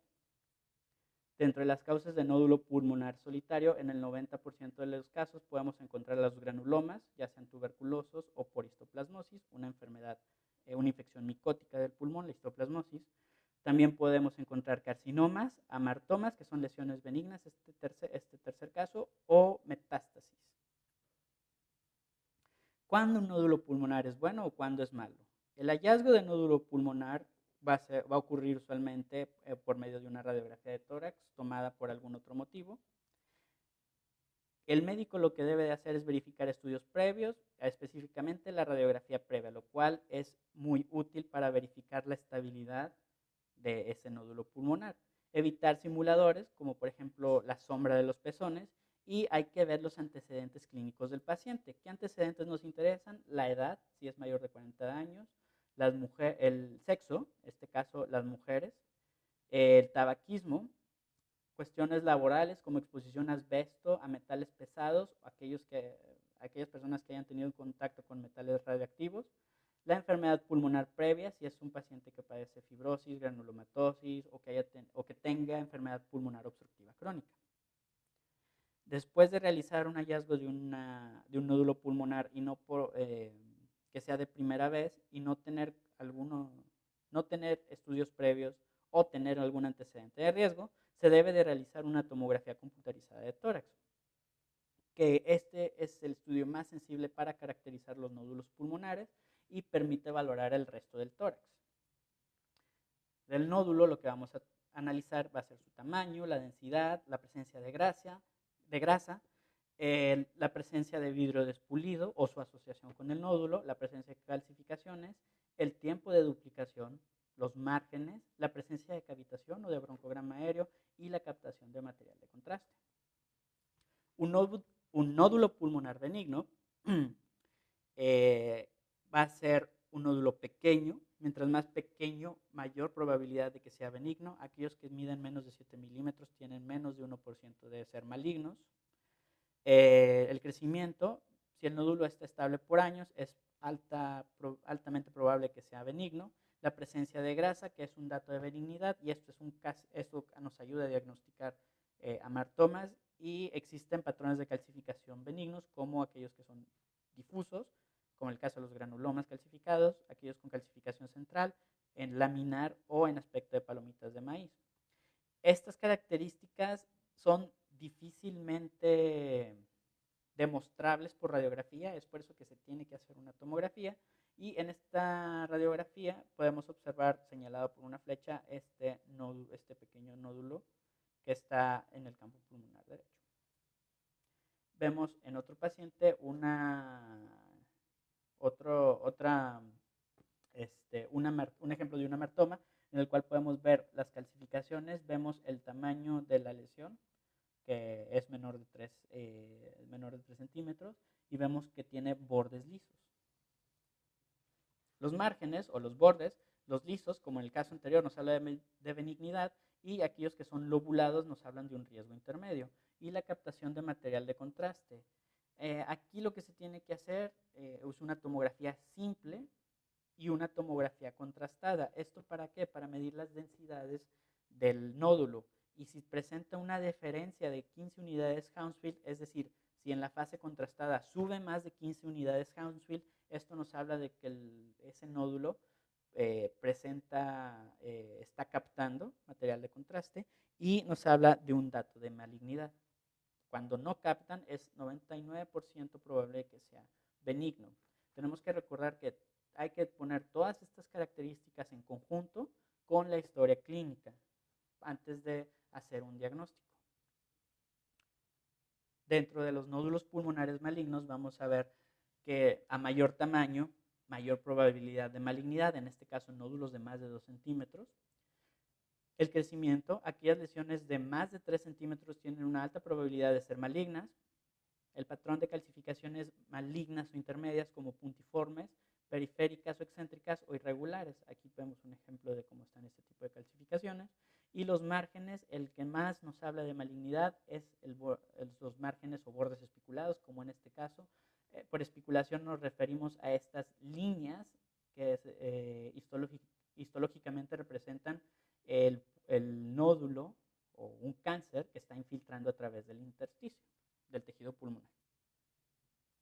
Eh, ver si un nódulo tiene un componente subsólido, ya sea vidrio despulido o, sea sólido y con vidrio despulido. Esto nos habla de que pues, tiene mayor riesgo de ser maligno. Si hay aire en su interior, ya sea cavitación o broncograma aéreo, eh, eh, estas dos características nos hablan de que la lesión puede estarse necrosando, la presencia de aire en su interior es lo que nos habla, y como ya dijimos anteriormente, la captación de material de contraste.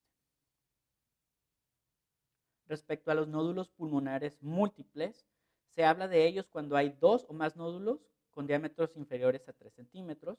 La principal causa son las metástasis y otras causas de nódulos pulmonares múltiples corresponde a los procesos infecciosos como la TB miliar, infecciones por hongos o fúngicas, el linfoma, la granulomatosis de Wegener o malformaciones arteriovenosas. Un ejemplo de nódulos múltiples o micronódulos o nódulos miliares, para ser más específicos, es la tuberculosis miliar, esto nos habla de la diseminación hematógena de la bacteria Mycobacterium tuberculae, en la cual podemos ver los múltiples nódulos, este aspecto, cómo vemos estos múltiples puntos, estos múltiples micronódulos, los cuales podemos apreciar mejor en, este, en esta ampliación de la porción inferior de este paciente y que esto, el nombre de miliar se debe al aspecto que semeja a las semillas de mijo.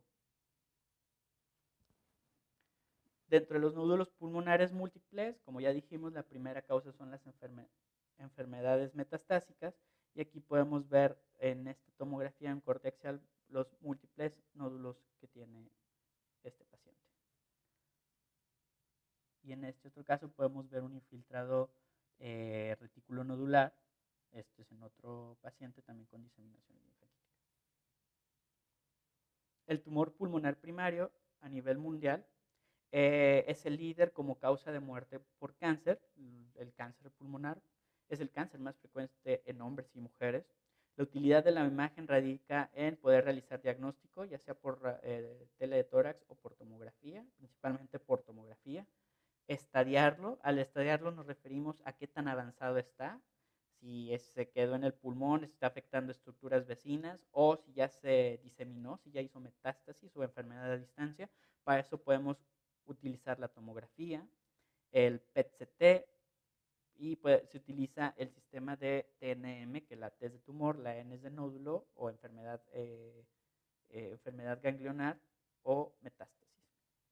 La enfermedad metastásica podemos verla por TAC o por PET-CT y hay casos especiales en la, como el tumor de Pancoast, que son tumores apicales o eh, que pueden invadir el mediastino o la columna y para eso podremos requerir la, eh, caracterizarlos por resonancia magnética. En esta radiografía, eh, en esta radiografía podemos observar esta lesión que vemos que eh, tiene una dimensión similar a un cuerpo vertebral, entonces podemos decir que es más de 3 centímetros, ya lo podemos catalogar como masa, vemos que está en el, eh, en el campo pulmonar izquierdo. Es eh, otro ejemplo, bueno, más bien es el mismo ejemplo de la misma lesión y podemos ver cómo en el caso de la radiografía de la derecha, vemos esta opacidad en el, eh, en el lápice pulmonar. Vemos cómo esta lesión está sobre, eh, sobrepasa la clavícula, nos da un signo de, el signo cervicotorácico y podemos decir que esta lesión se ubica en el mediastino posterior. Ejemplos de tumores por tomografía, podemos ver esta tomografía contrastada, esta lesión, observemos cómo está con una menor densidad, un poco menor comparado con la periferia. Esto nos habla de, vemos el gran tamaño de la lesión, cómo mide más de, más de un cuerpo vertebral, podría casi de 10 centímetros en su eje más largo.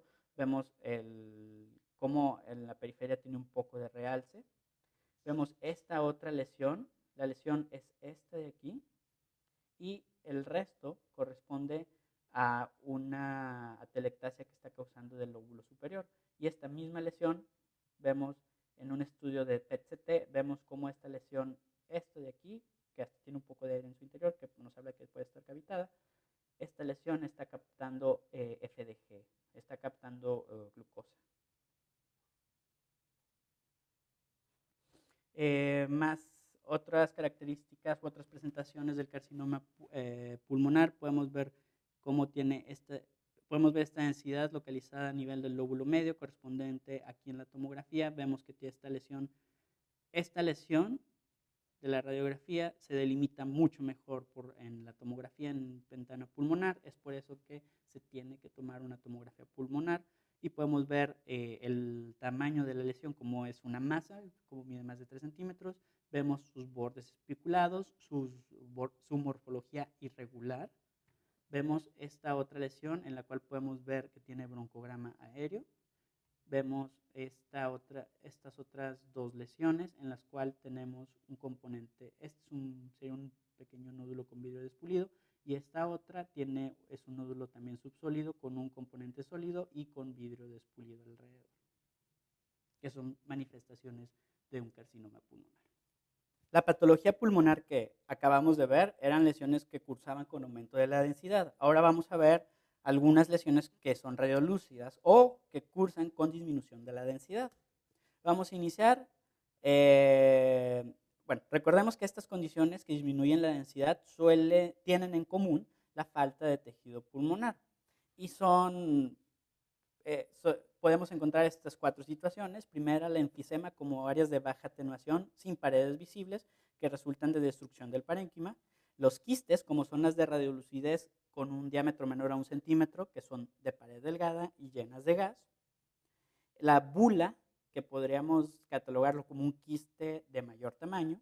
Una zona de radiolucidez mayor a un centímetro de pared delgada también llena de gas. Y finalmente la cavitación, que es una, zona, es una zona de radiolucidez cuya principal característica es el grosor de su pared, que mide más de 3 milímetros. El enfisema está asociado usualmente a tabaquismo. En radiografía de tórax pueden apreciar datos de atrapamiento aéreo como la expansión de ambos hemitórax en esta radiografía, el aplanamiento de los hemidiafragmas. En la radiografía lateral se ve cómo hay un aumento del espacio retroesternal y ese aplanamiento de los semidiafragmas que les decía. Esta se mejora valor por tomografía, ahorita la vamos a ver, y en pacientes jóvenes se asocia con deficiencias de alfa-1 antitripsina. Eh, esta es una tomografía de otro paciente en la cual podemos ver estas pequeñas zonas con eh, disminución de la densidad. Comparamos estas del lado derecho como se ve un poco más gris, a diferencia de estas, como se ven estas zonas, las cuales corresponden a unas zonas con enfisema.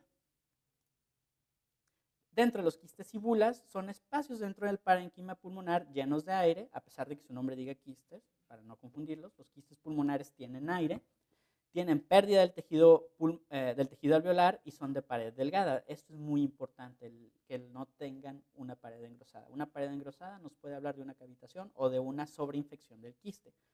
Eh, se diferencian por su tamaño, ya lo dijimos, el quiste es menor de un centímetro, las bulas pueden ser mayores a un centímetro y lo que tienen en común es que pueden predisponer a neumotórax espontáneos. En esta imagen, por ejemplo, podemos ver una, esta imagen descrita como un quiste, vemos tiene esa pared delgada, vemos, vemos como es una lesión única.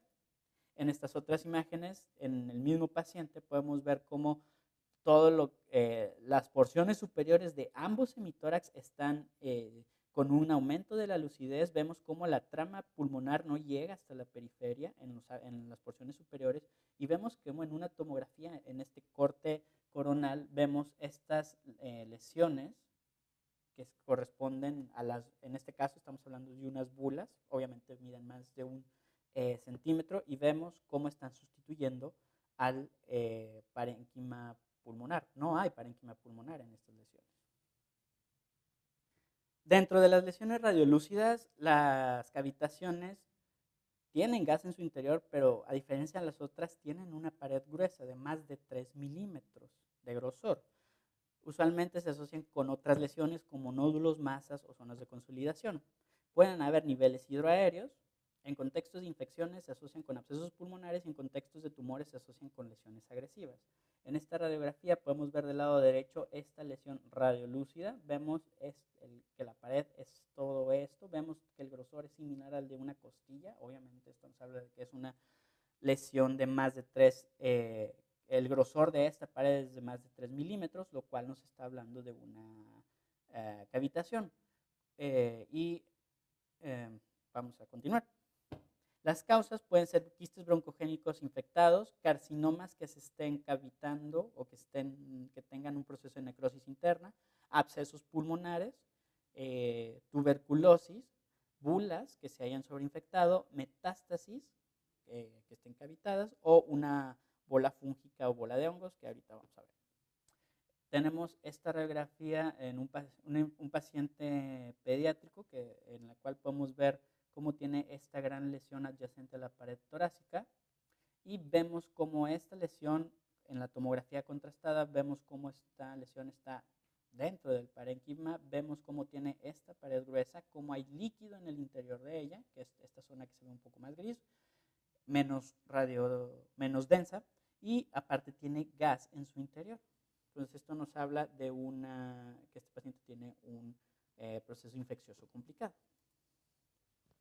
Podemos ver neumonías cavitadas, como en esta radiografía podemos ver esta zona de radiolucidez en el lóbulo, superior, en el lóbulo eh, derecho superior. Vemos, recordando, como es una neumonía, no va a desplazar estructuras mediastinales, y vemos como en esta área de, de consolidación o de aumento de la densidad hay un área con eh, mayor radiolucidez. Esto nos habla de que hay un proceso necrótico en el interior de este pulmón y al confirmarlo con la tomografía podemos ver que tiene broncograma, vemos el aumento de la densidad y vemos este aire, lo cual nos habla de que es una neumonía cavitada.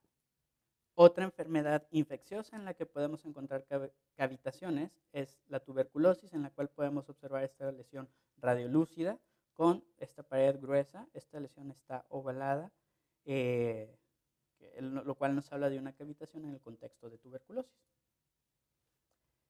Eh, un paréntesis, en la tuberculosis también podemos encontrar la diseminación endobronquial, que son zonas de nódulos enterobulillares con un patrón lineal de ramificación, con un aspecto de árbol en gemación. Esto se puede ver mucho mejor en la tomografía y en la cual podemos ver todos estos nódulos pequeños.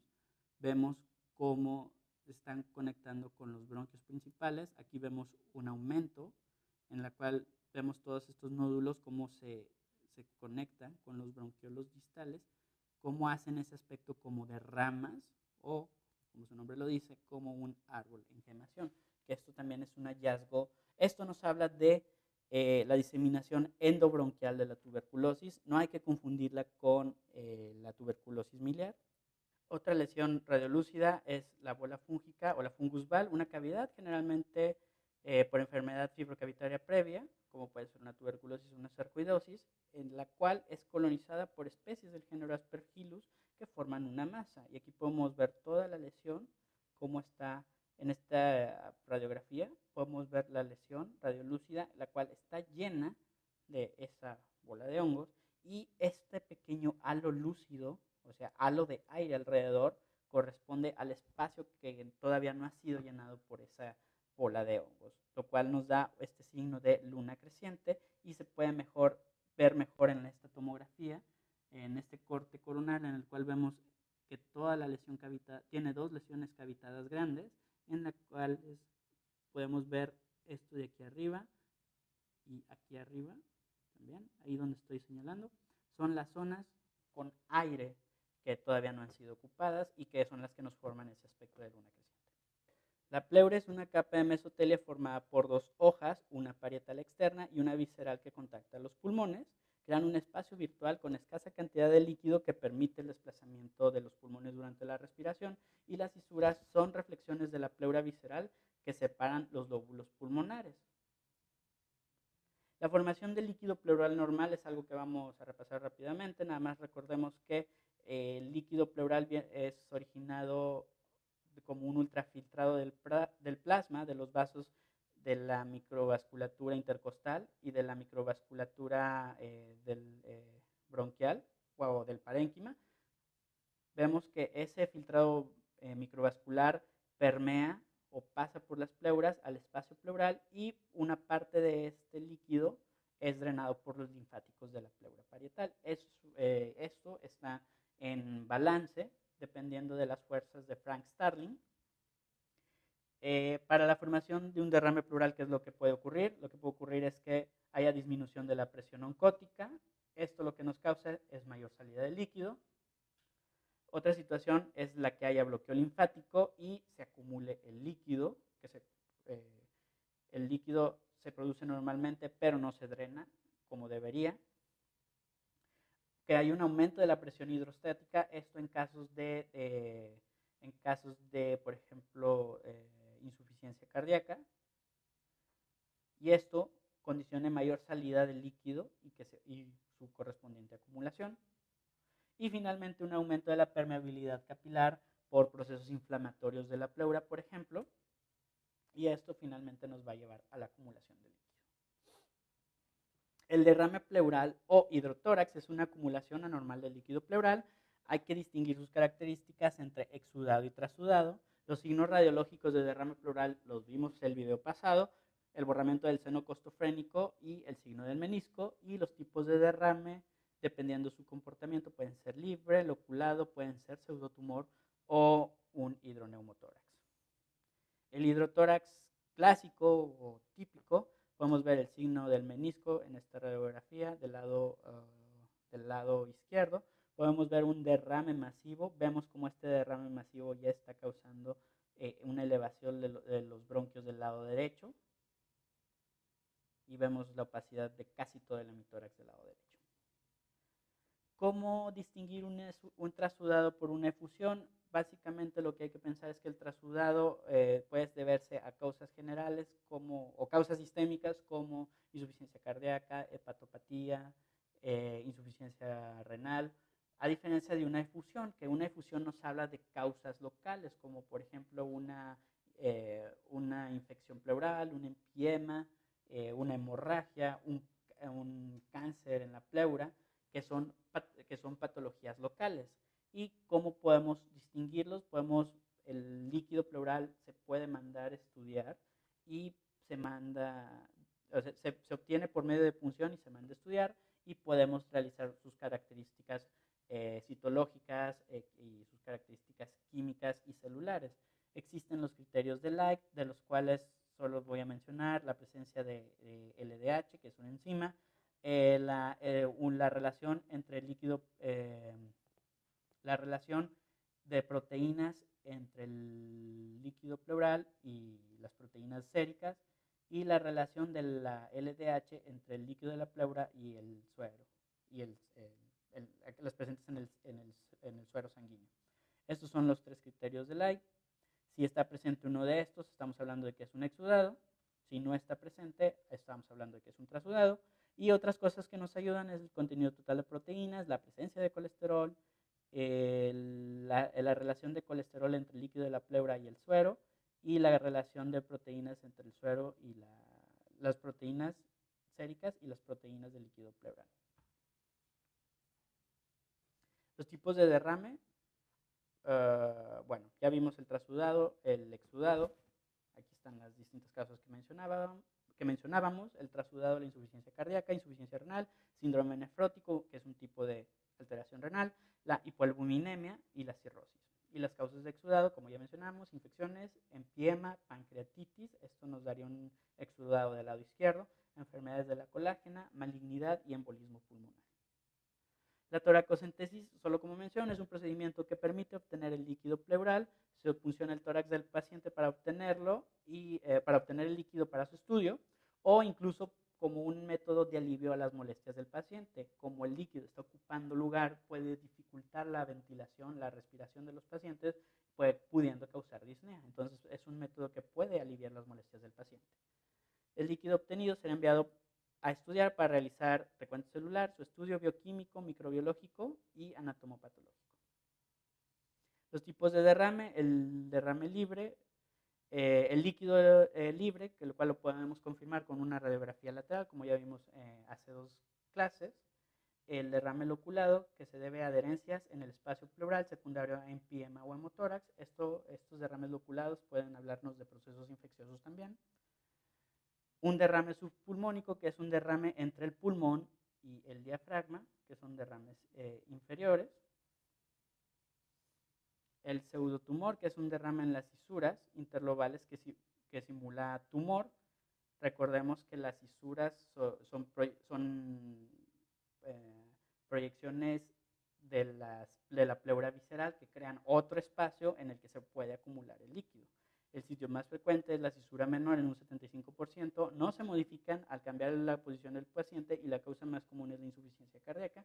Y aquí en estas radiografías podemos ver como en la topografía de la, de la cisura menor vemos esta lesión ovalada bien delimitada, vemos este pequeño ángulo agudo que hace en su porción medial y vemos cómo, que, bueno, que representa el, sitio donde se, juntan las, donde se está juntando la pleura visceral y aquí en la, eh, la- en esta proyección lateral vemos esta configuración eh, ovalada, como si fuera, hagan de cuenta, un limón. Pueden haber, digamos, eh, conjunción de patologías, un hidroneumotórax en el cual hay aire y líquido en el espacio pleural. Puede verse a trauma, cirugía o a fístula broncopleural. Eh, vemos por la radiografía la presencia de nivel hidroaéreo. Vemos esto, esto de aquí corresponde al espacio aéreo, al gas, y aquí abajo vemos el nivel que está formando el líquido. La tomografía es útil para distinguir entre absceso e hidroneumotórax.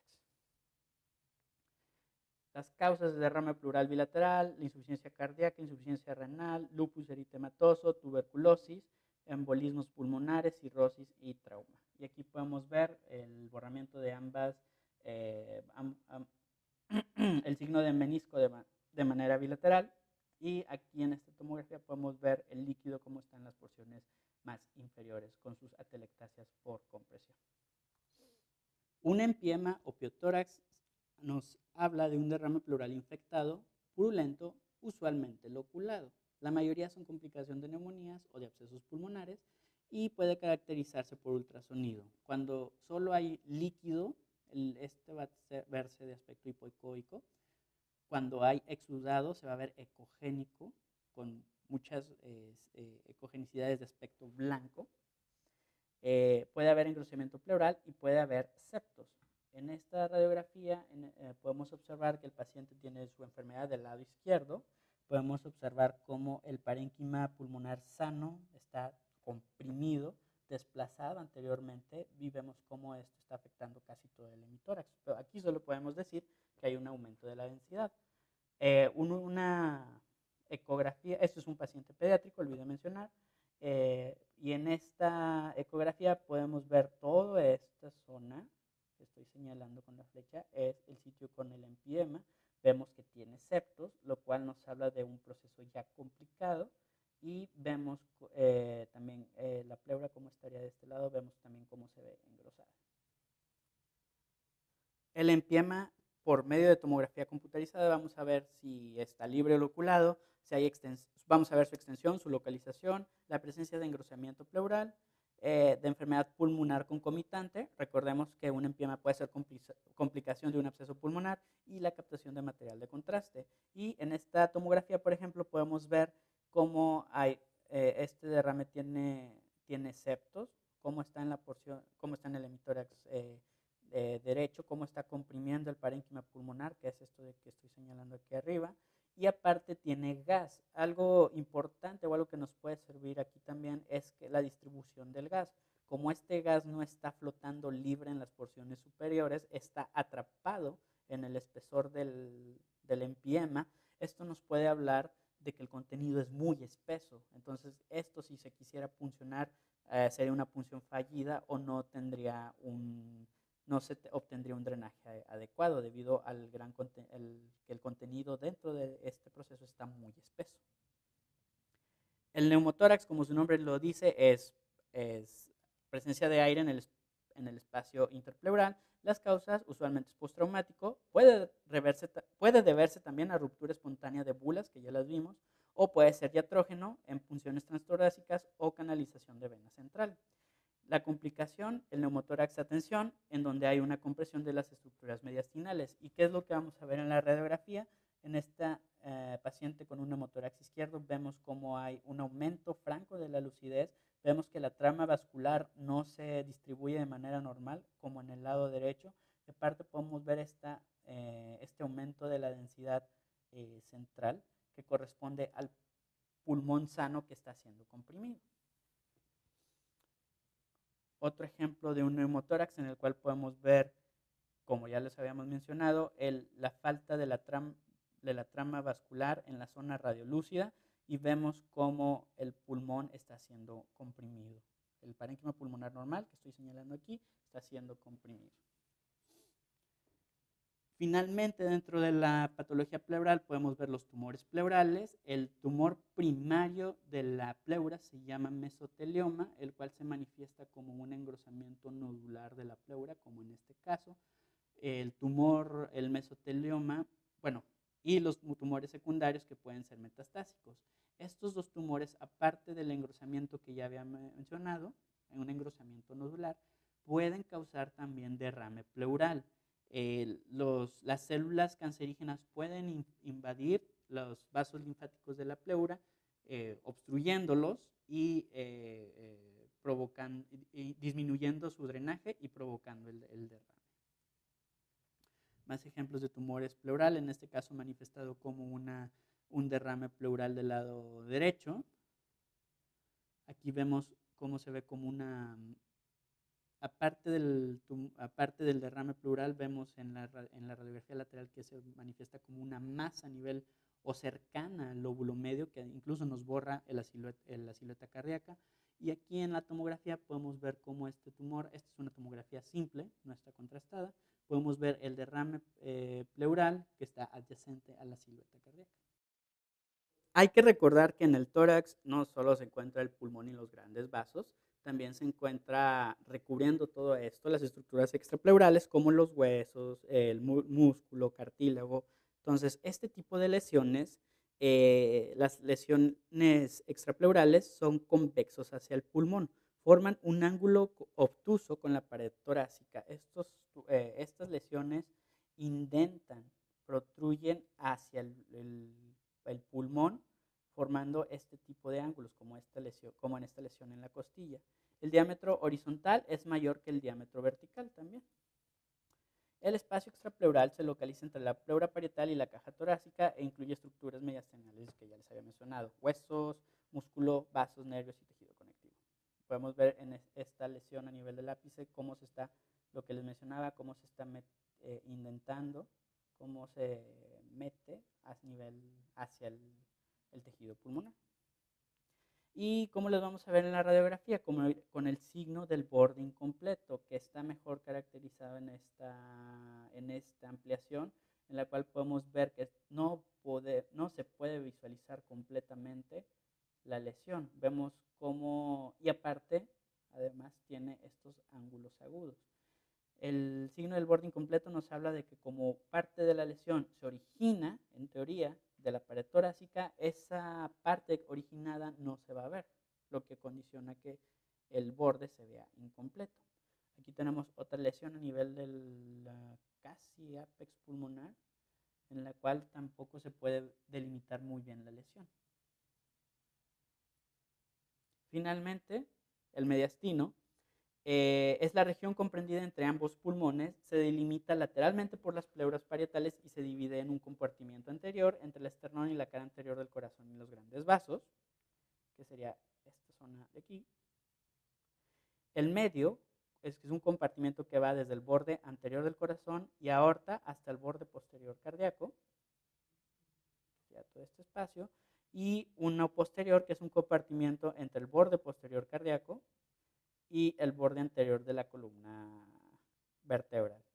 El mediastino posterior incluye la región paravertebral, los, entiéndase eh, las estructuras alrededor de la columna, entre la cual se encuentran los nervios y que son también, digamos, las lesiones de los nervios espinales son también lesiones del mediastino posterior.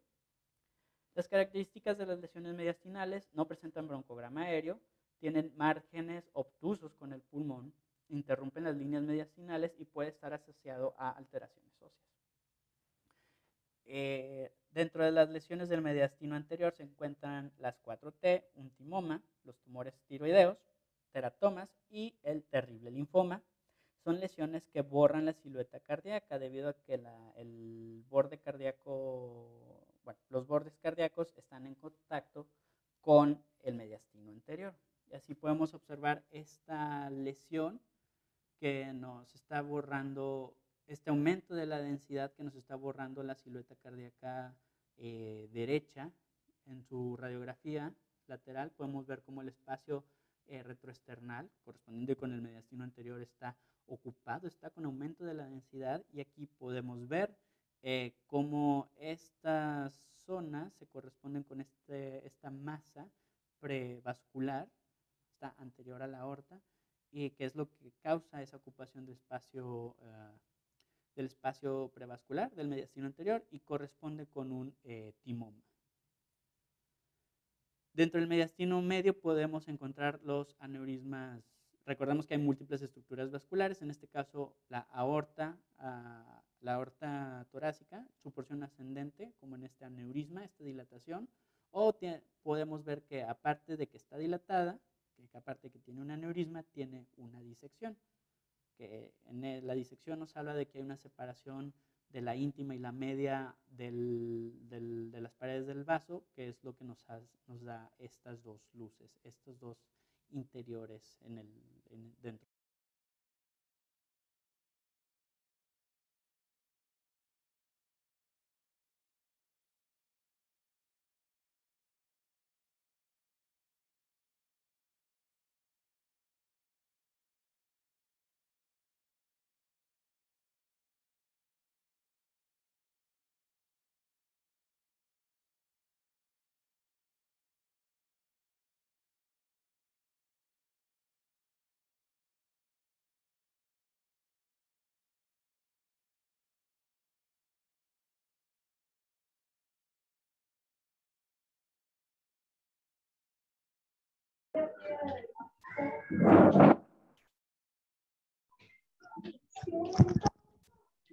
Muy bien, hasta aquí nosotros tenemos para estas, estos temas, tres temas importantes para el examen de la próxima semana.